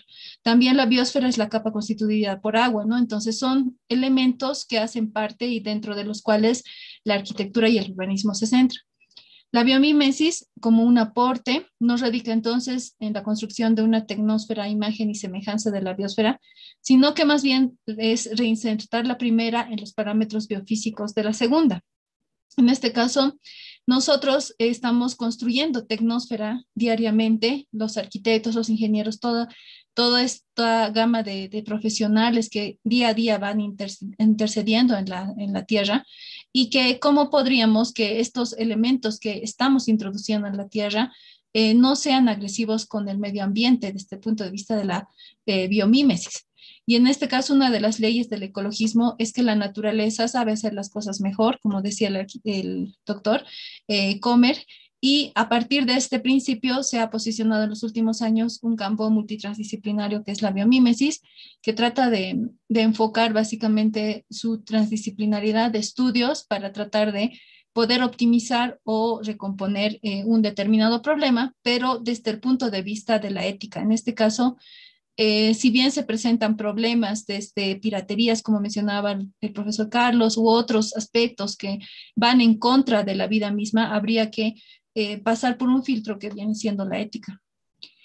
Uno de los autores que nos habla de la complejidad es Janer Van Jam, donde nos habla de que en la actualidad, y es verdad esto que sucede en las universidades, cada universidad o cada ciencia se ha dedicado a perseguir su propio camino y construir su propio, eh, su propio punto de partida y de llegado, proyección futura.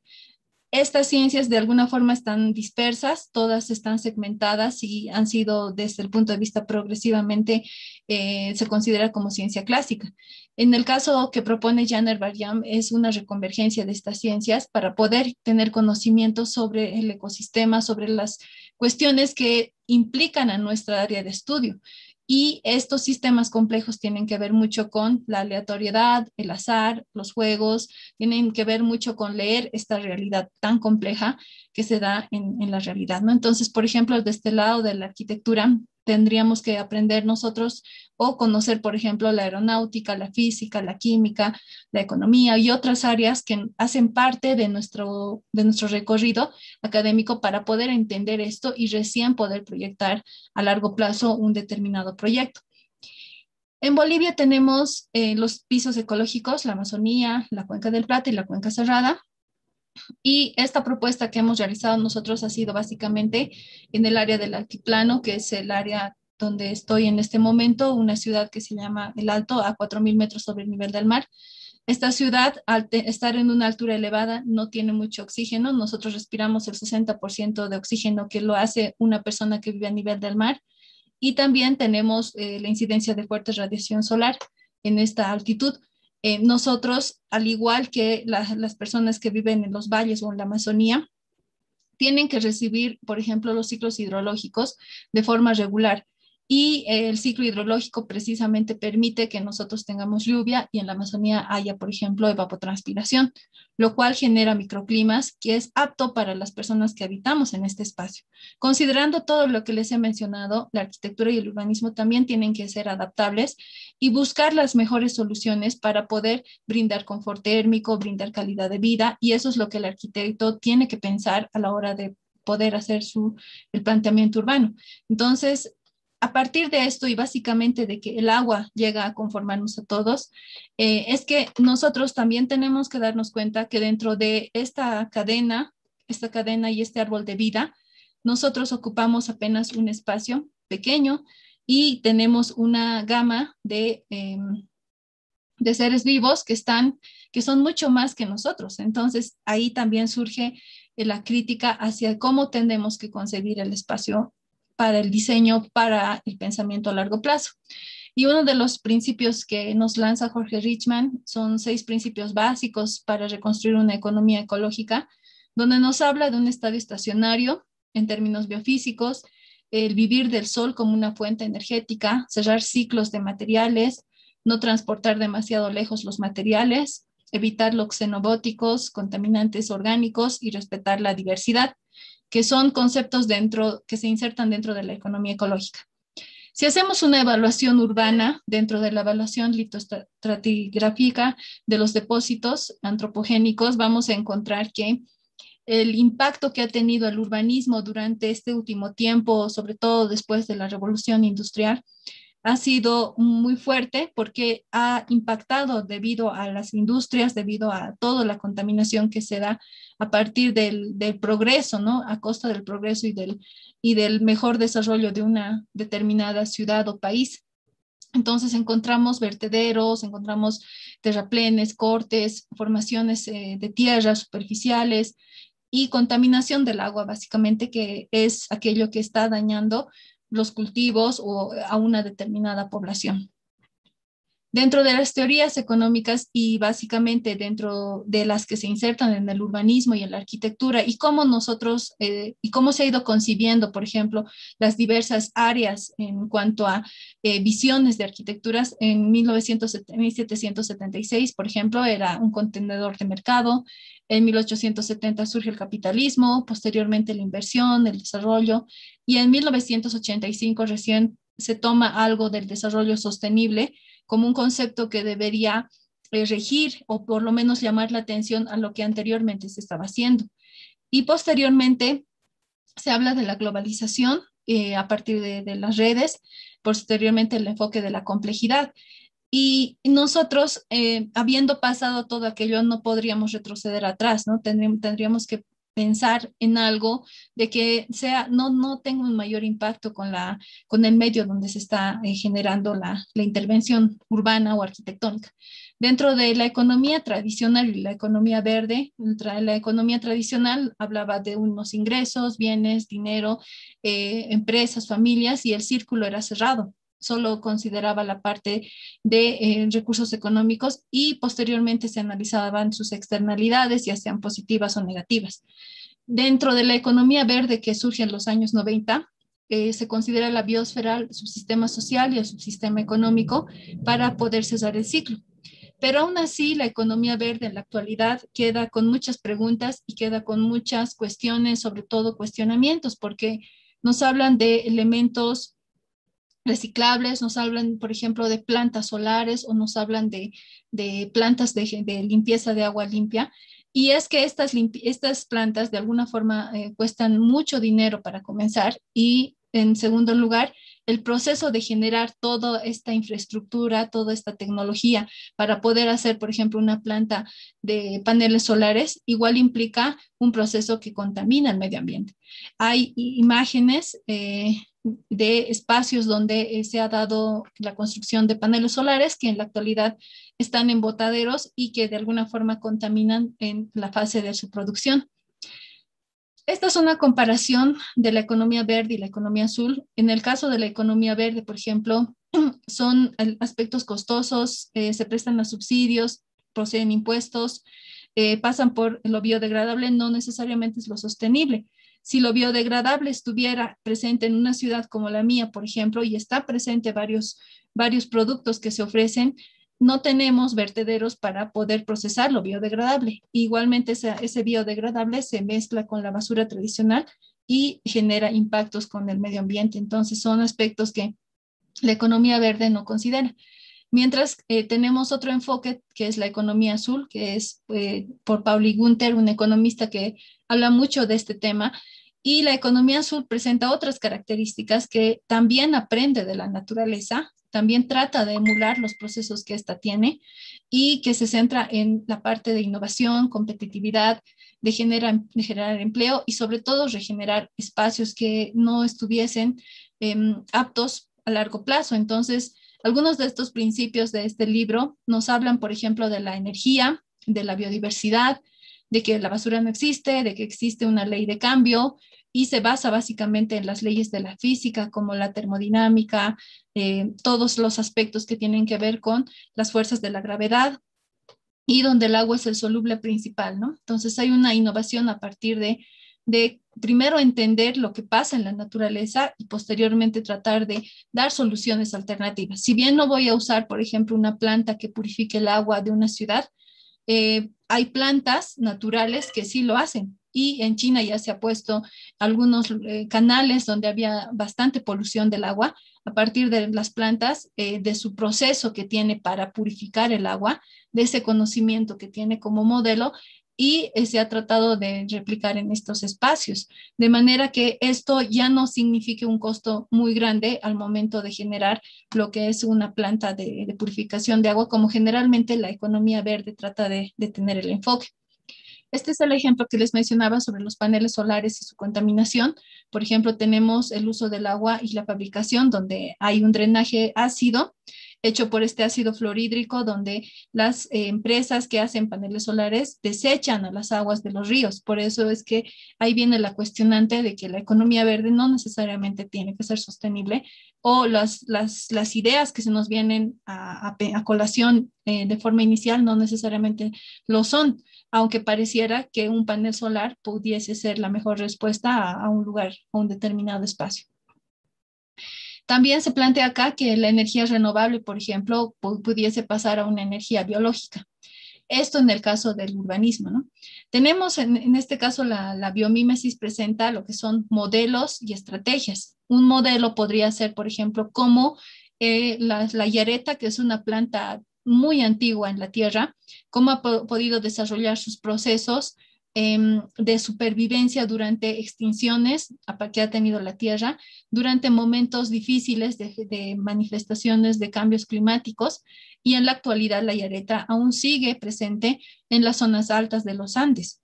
Los modelos, estrategias que tiene esta planta u otras que han sobrevivido o han atravesado por el, por el paso del tiempo, eh, nos enseñan que podrían optimizar en vez de maximizar, que no agotan sus recursos y que se rigen por la información.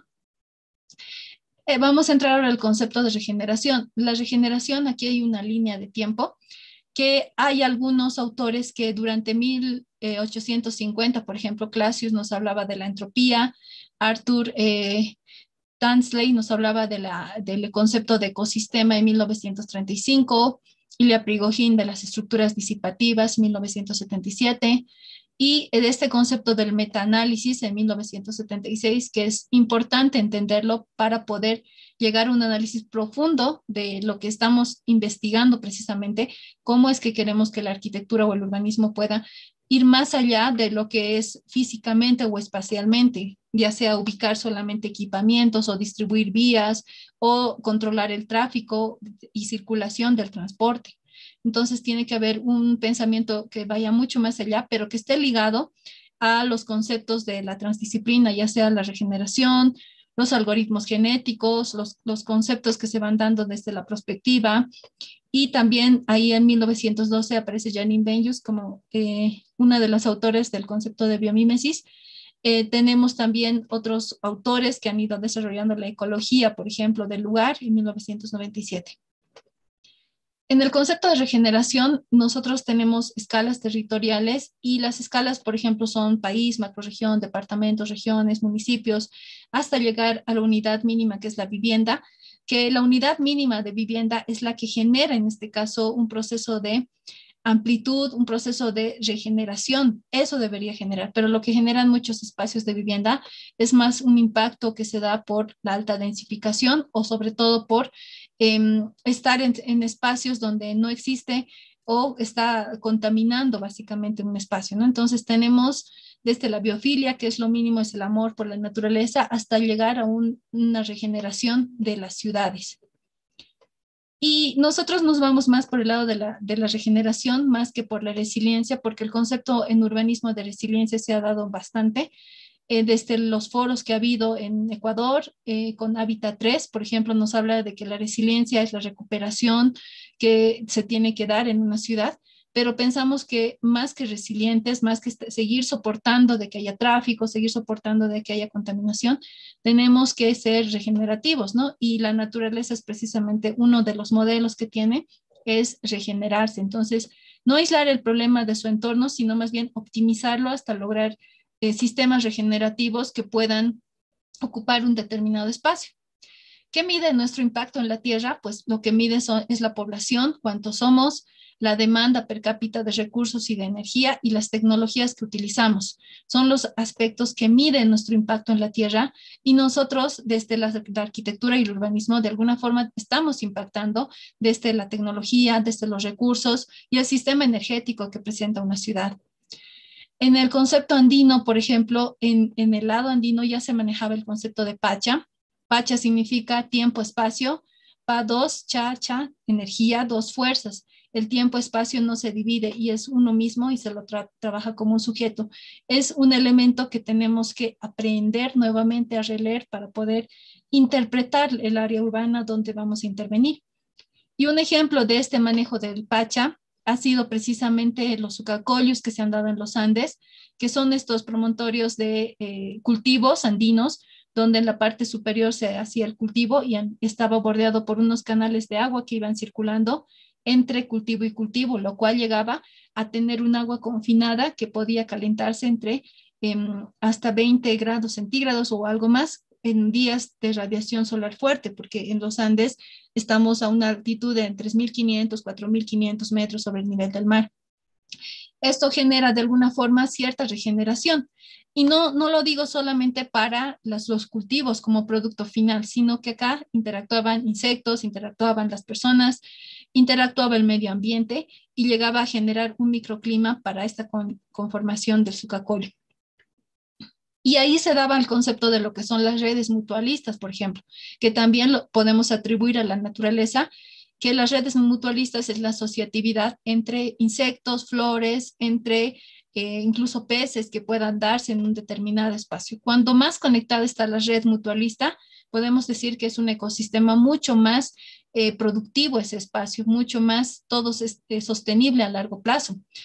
Y esas redes mutualistas, pues precisamente también vienen de la naturaleza, porque es un gran número de especies de animales que dependen estrechamente de los recursos que provee la naturaleza y el modelo es precisamente la articulación de una, eh, de una red dirigida, de una red bipartita como la que están viendo acá, y eh, del poder encontrar estas articulaciones para poder entender cómo se estructura un, ecosistema.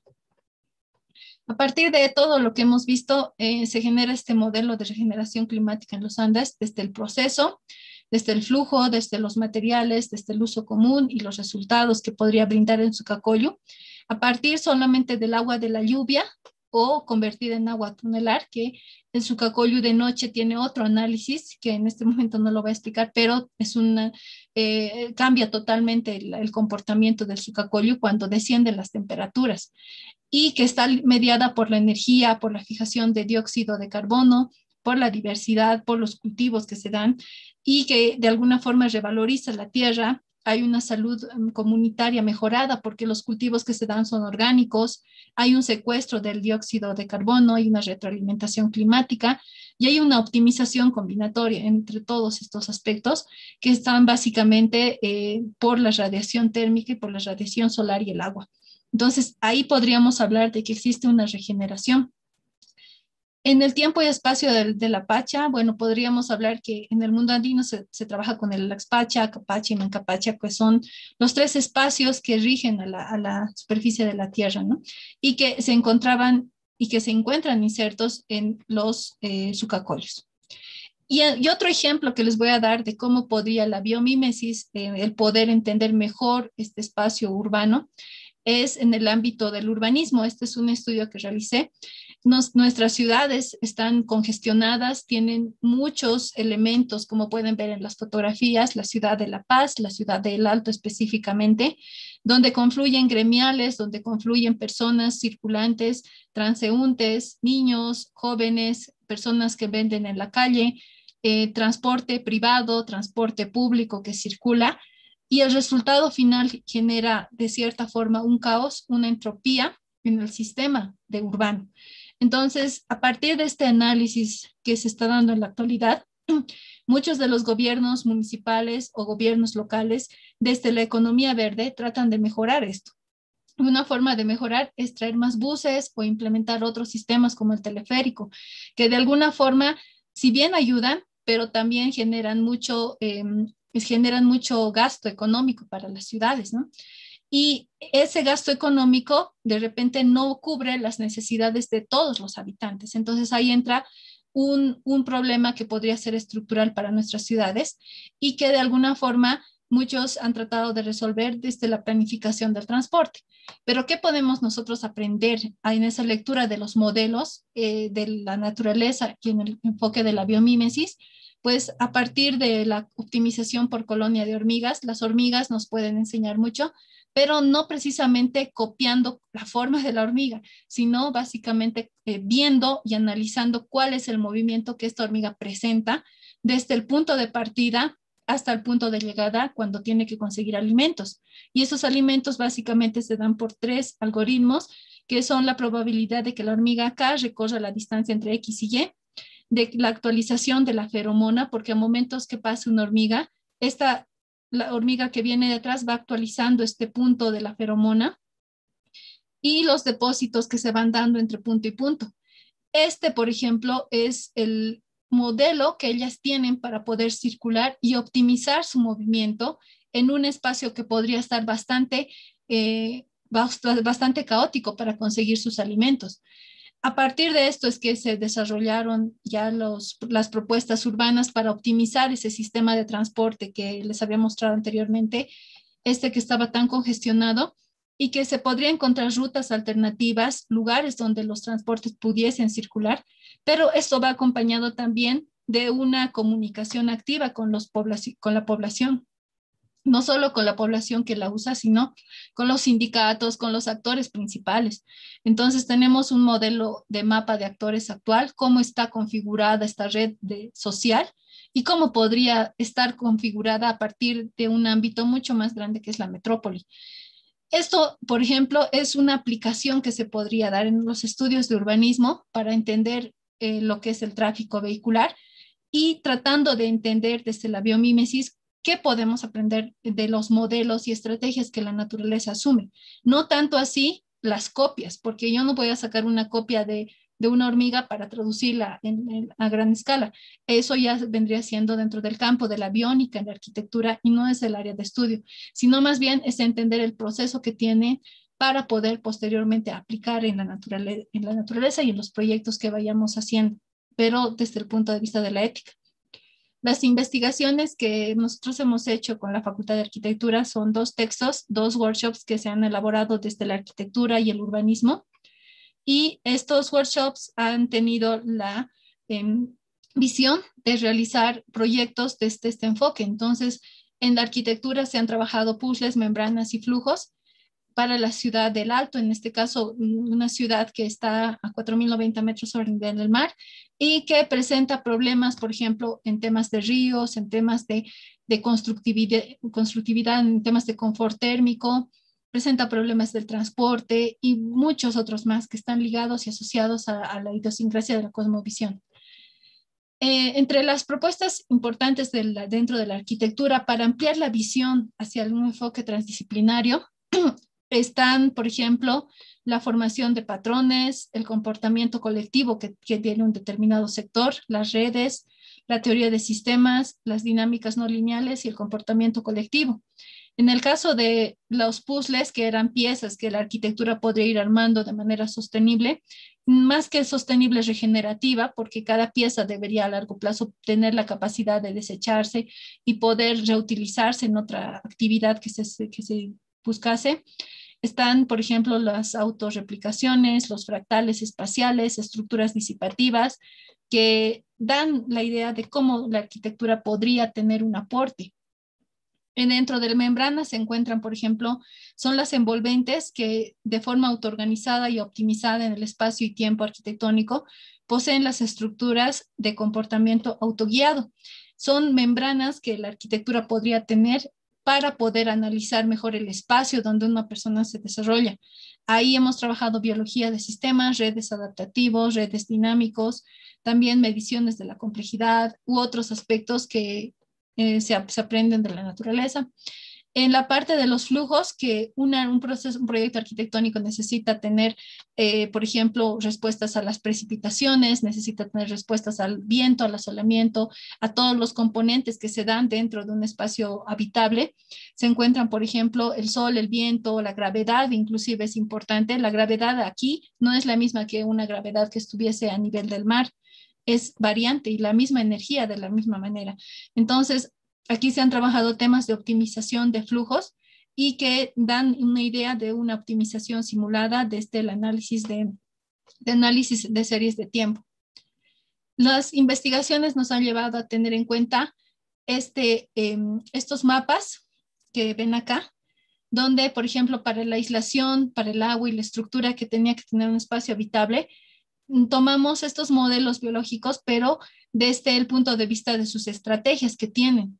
Entonces, por ejemplo, la alpaca tiene una estrategia de ser termoestática, tiene una eh, característica de retener el calor, las hormigas que tienen flotabilidad, las luciérnagas que tienen exoesqueletos, las tortugas que son desmontables, o bien, por ejemplo, las semillas que tienen tensoestructuras, incluso hay semillas que tienen, están con gravedad cero dentro de su, de su cascarita, ¿no? Las semillas que, salen de, los árboles.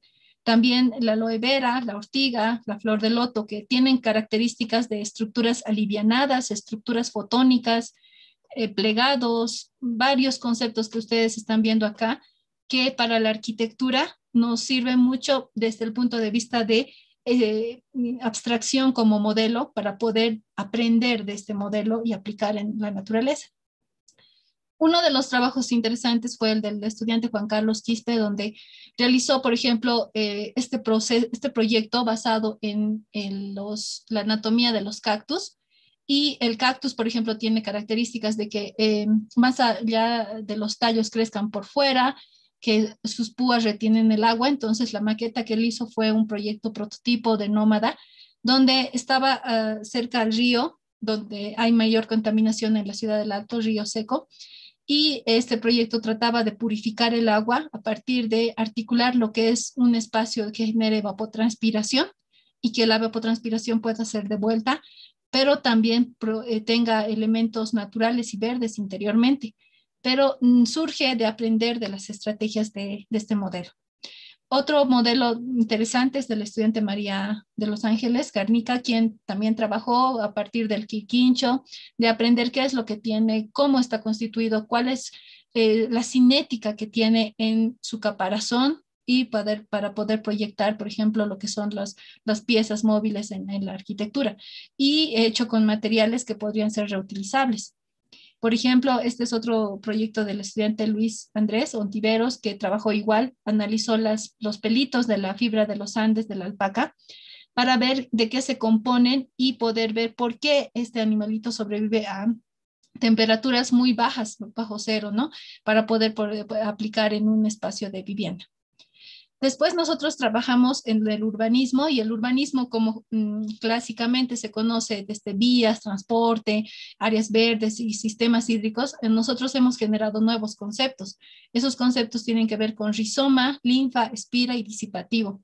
Rizoma tiene que ver con aquellos espacios o proyectos dedicados a recuperar la calidad del suelo eh, por eh, vulnerabilidades que se dan por temas de riesgos. Nuestra ciudad, La Paz específicamente, tiene varios problemas en este sentido.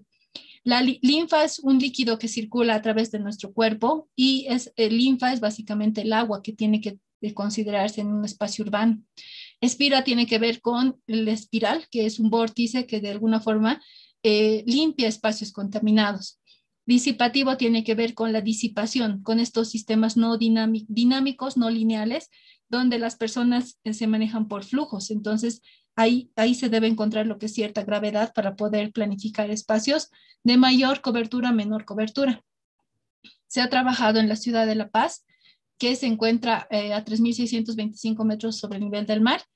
Y estos cuatro conceptos, rizoma, linfa, espira y disipativo, se aplicaron en la parte urbana desde un punto de vista de, para un sistema regenerativo, donde eh, se aumente la energía, donde haya esta reconciliación con, la, con el espacio urbano donde se encuentra el proyecto urbano.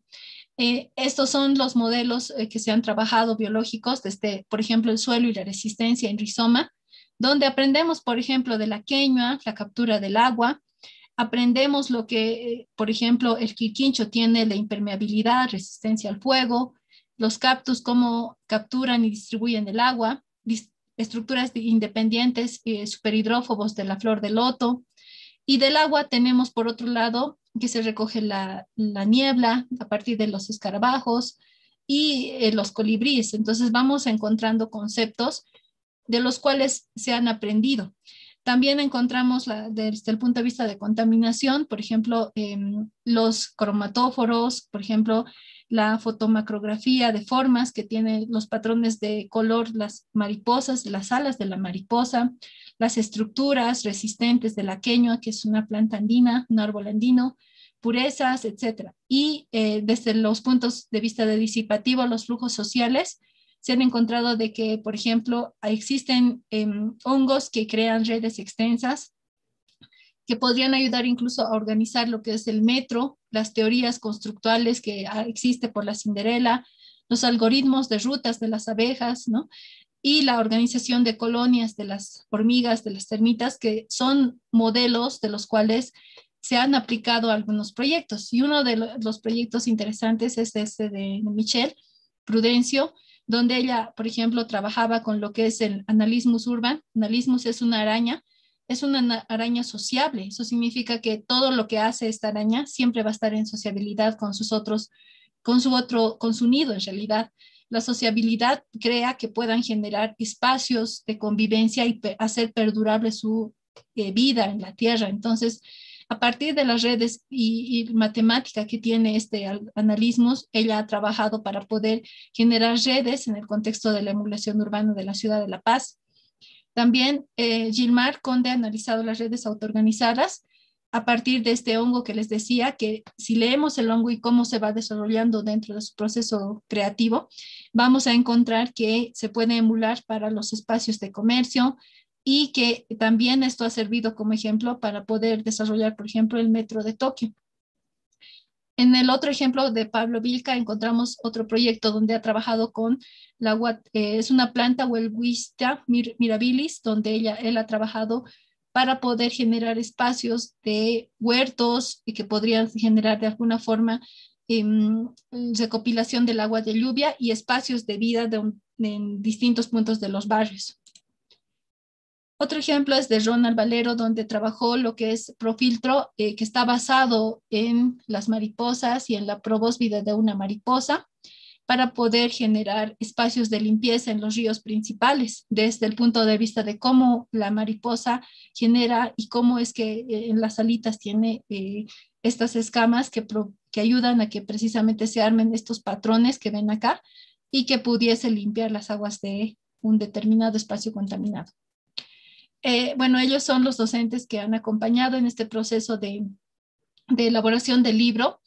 Eh, cada uno tiene una profesión distinta, la mayoría somos arquitectos, pero por ejemplo Nicolás, filósofo, Ricardo, eh, biólogo, profesor Álvaro, economista, y el profesor Daniel, ingeniero, los demás arquitectos, que de alguna forma hemos tratado de que esta construcción de, de estos proyectos que se han dado acá basados en los principios de la biomímesis, el aprendizaje y sobre todo las redes, lo que tiene que ver con las estrategias y modelos, puedan ser aplicables y puedan posteriormente ser estudiados y puedan ser mejorados. Estos son los libros que hemos hecho y ahí están sus códigos para ver, para ver si ustedes gustan ver los libros. Los animales, las plantas, los microbios son ingenieros consumados. Ellos han descubierto que funciona, que es apropiado y lo más importante que perdura aquí en la Tierra por Janine Benyus la bibliografía utilizada y pues muchas gracias.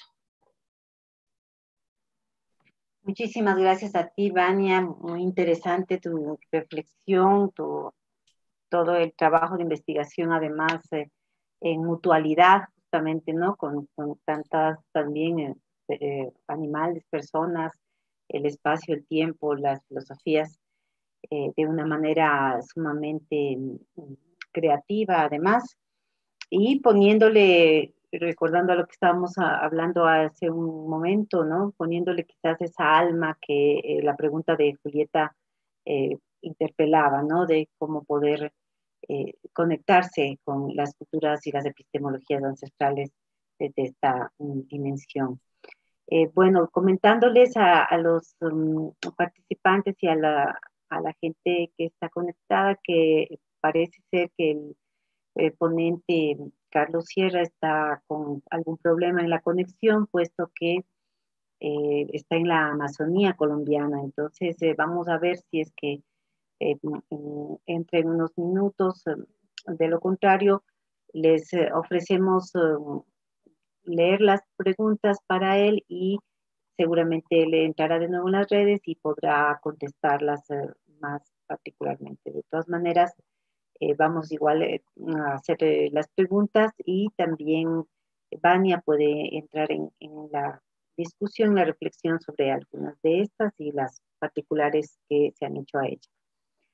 Bueno, mm, voy a iniciar entonces con una reflexión de María de Melo de Brasil. ella mm, ah, reflexiona un poco sobre lo, la anterior ponencia, dice, ese es el gran avance que se debe realizar trascendiendo el modo de comunicación disciplinar que aún es fuerte en la academia y que se traslada a las relaciones en los proyectos que se llevan a cabo. Entonces, eh, mm, tenemos también otras preguntas. Oscar Ochoa eh, también nos eh, pregunta con respecto um,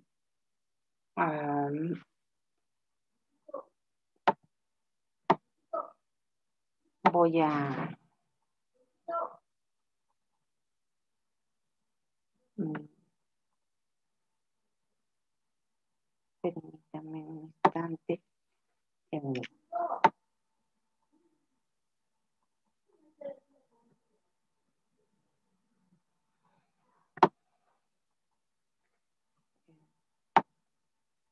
Permítame un instante, aquí está, la de Oscar.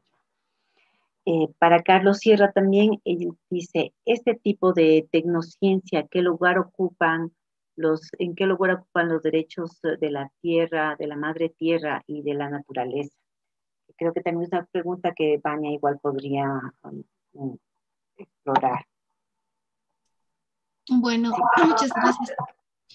Em, ¿Qué lugar ocupan los derechos de la madre tierra y la naturaleza? Primero, nosotros para hacer el enfoque de la biomímesis en la arquitectura y el urbanismo, eh, nosotros no, pretendemos ir o apropiarnos de los derechos que ellos tienen, sino trabajar a la tierra y a la naturaleza como un sujeto vivo. Desde el punto de vista de, de sujeto vivo es que se trabaja la regeneración. Entonces, por ejemplo, si hay un espacio degradado y nosotros que justamente el gobierno o alguien quiere intervenir en ese espacio con algún proyecto, los derechos de la madre naturaleza deberían prevalecer previamente, ¿no? Y la biomímesis en los procesos y los modelos nos podría ayudar a reconstruir o a regenerar ese espacio determinado. Eh, esa es la diferencia con, por ejemplo, la, resiliencia. La resiliencia muchas veces se dice que es em, digamos, una ciudad cuando está eh, implementada en un espacio tiene que ser resiliente a qué? A los efectos, por ejemplo, del COVID o resiliente a qué? Al cambio climático u otros aspectos como fenómenos que se presentan. Sin embargo, la resiliencia es quedarse y ser resistente, pero la regeneración en este caso está buscando que todo lo que está pasando más bien sea, digamos, un alto a todo eso y empecemos a regenerar, que ya no seamos resilientes, sino más bien empecemos a regenerar lo que se hubiese dañado, hubiese ocasionado un daño al, medio ambiente. En este caso, la arquitectura y el urbanismo al ser dos, eh, dos, áreas de intervención directa con el espacio eh, que tenemos, pues generan impactos fuertes y ambos deberían buscar estos procesos de regeneración tanto en, el espacio pequeño que es la unidad mínima de la vivienda como en un espacio que es mucho más grande que es la parte urbana. Muchísimas gracias, Vania. Eh, también pensando en esto, Victoria Mendoza Barrios de Brasil nos dice, ¿cuál es la diferencia entre los procesos de resiliencia y regeneración? Eh, bueno, acabas de mencionarlo, quizás tal vez eh, ahondar un poquito. Eh, yo pienso que también el tema de la regeneración se lo asocia mucho a la regeneración urbana desde una dimensión de ejercicio de poder, ¿no? Entonces, tal vez esa dimensión nos puede ayudar a entender mejor estas propuestas. Así es. Em, sobre todo lo que en este, esos proyectos se ha tratado de mostrar es que si bien hay este camino que el profesor Carlos mencionaba, que la naturaleza, la biomímesis puede ser usada como, como parte de, digamos, grupos ajenos a la sostenibilidad o contrapuestos para sus fines, también nosotros no solamente se trata de copiar una forma tal cual está impresa en la naturaleza para aplicar a la realidad, sino básicamente el tratar de aprender de los modelos y, las estrategias que la naturaleza tiene y ha tenido construyendo durante tanto tiempo para poder extraer lo mejor de esto y eh, aplicar a los procesos de problemas urbanos que se nos presentan. Entonces, el enfoque que hemos visto ahora es precisamente esto, aprender de las estrategias, modelos que tiene para poder nosotros em, dar respuestas desde la arquitectura, el urbanismo, como dos áreas, porque imagino que en otras áreas también se van trabajando de la misma manera. Muchas gracias, Vania. Quizás sería entonces entender que el lugar de enunciación desde el cual vemos estos diálogos, estas traducciones, van a determinar ¿no? qué tipo de, de dialógica y cómo se puede de alguna manera eh, generar un espacio de cual esencia y no tan de ejercicio de poder del uno frente al otro, sino quizás encontrar una, una forma de equidad en estos procesos, buscando las traducciones más eh, cercanas a los ecosistemas y a las prácticas y a las necesidades, obviamente, y, deseos eh, de, los pueblos, ¿no? Los que van a las comunidades en general. Eh, muchísimas gracias por tan interesante camino que dejas abierto. Seguramente a través de las redes habrán más preguntas más adelante, entonces eh, consideramos pertinente. Creo que hay una más. Oscar Ochoa también nos vuelve a, a dar otra pregunta para ti. Dice, ¿alguna relación entre regeneración y permacultura? ¿Podrías abordar un poquito esto? Sí. Bueno, la permacultura tiene que ver con los principios de, de la parte agrícola, de toda la parte de, de, mejorar un determinado espacio que generalmente ha surgido como un concepto em, para un determinado lugar, ¿no? Dentro de la, parte de, del diseño eh, de huertos urbanos y todo lo que se da dentro de la economía verde. En realidad sí hay una, una relación desde el punto de vista de la ética, porque la ética es la que articula ambos. Si bien la permacultura trata de reconstruir un lugar desde los conocimientos que se tiene, eh, el hombre en este caso está intercediendo. En la regeneración participan ambos, ¿no? La naturaleza y el hombre. Y se tiene que aprender de los procesos de regeneración, en este caso de la naturaleza, y medir en las ciudades. La regeneración va a una escala mucho mayor que la permacultura es, una escala, digamos, de vivienda, barrio, pero la regeneración está a una escala mucho más grande, donde podríamos sacar inclusive índices de regeneración desde el punto de vista de varios eh, indicadores que se podrían dar, desde la regeneración del aire, desde regeneración del agua, regeneración de la tierra, regeneración con los mm, seres vivos que se da desde las redes mutualistas, es un poco más grande. La permacultura es una escala un poco más eh, de barrio, de vivienda, donde la gente misma podría obrar para poder eh, reconstruir un determinado espacio para poder mejorarlo desde eh, su sostenibilidad. Muchísimas gracias, querida Vania. Muy interesante y toda la mesa y las mesas han sido realmente un gusto tener esta posibilidad de tener este diálogo desde la traducción y las traducciones a diferentes eh, campos de conocimiento tomando en cuenta siempre la diversidad epistémica, cultural, eh, socioespacial en general. Bueno, entonces eh, con esta intervención maravillosa terminamos eh, esta jornada agradeciéndoles a todos los participantes e invitándoles a que sigan enviando sus comentarios y preguntas por las redes, eh, que seguramente los, todos los ponentes estarán muy gustosos de contestarles. Muchísimas gracias y adelante. Una buena tarde. Gracias. Saludos. Saludos para el alto que está tan alto. Muchas felicidades. Gracias a todos. Gracias.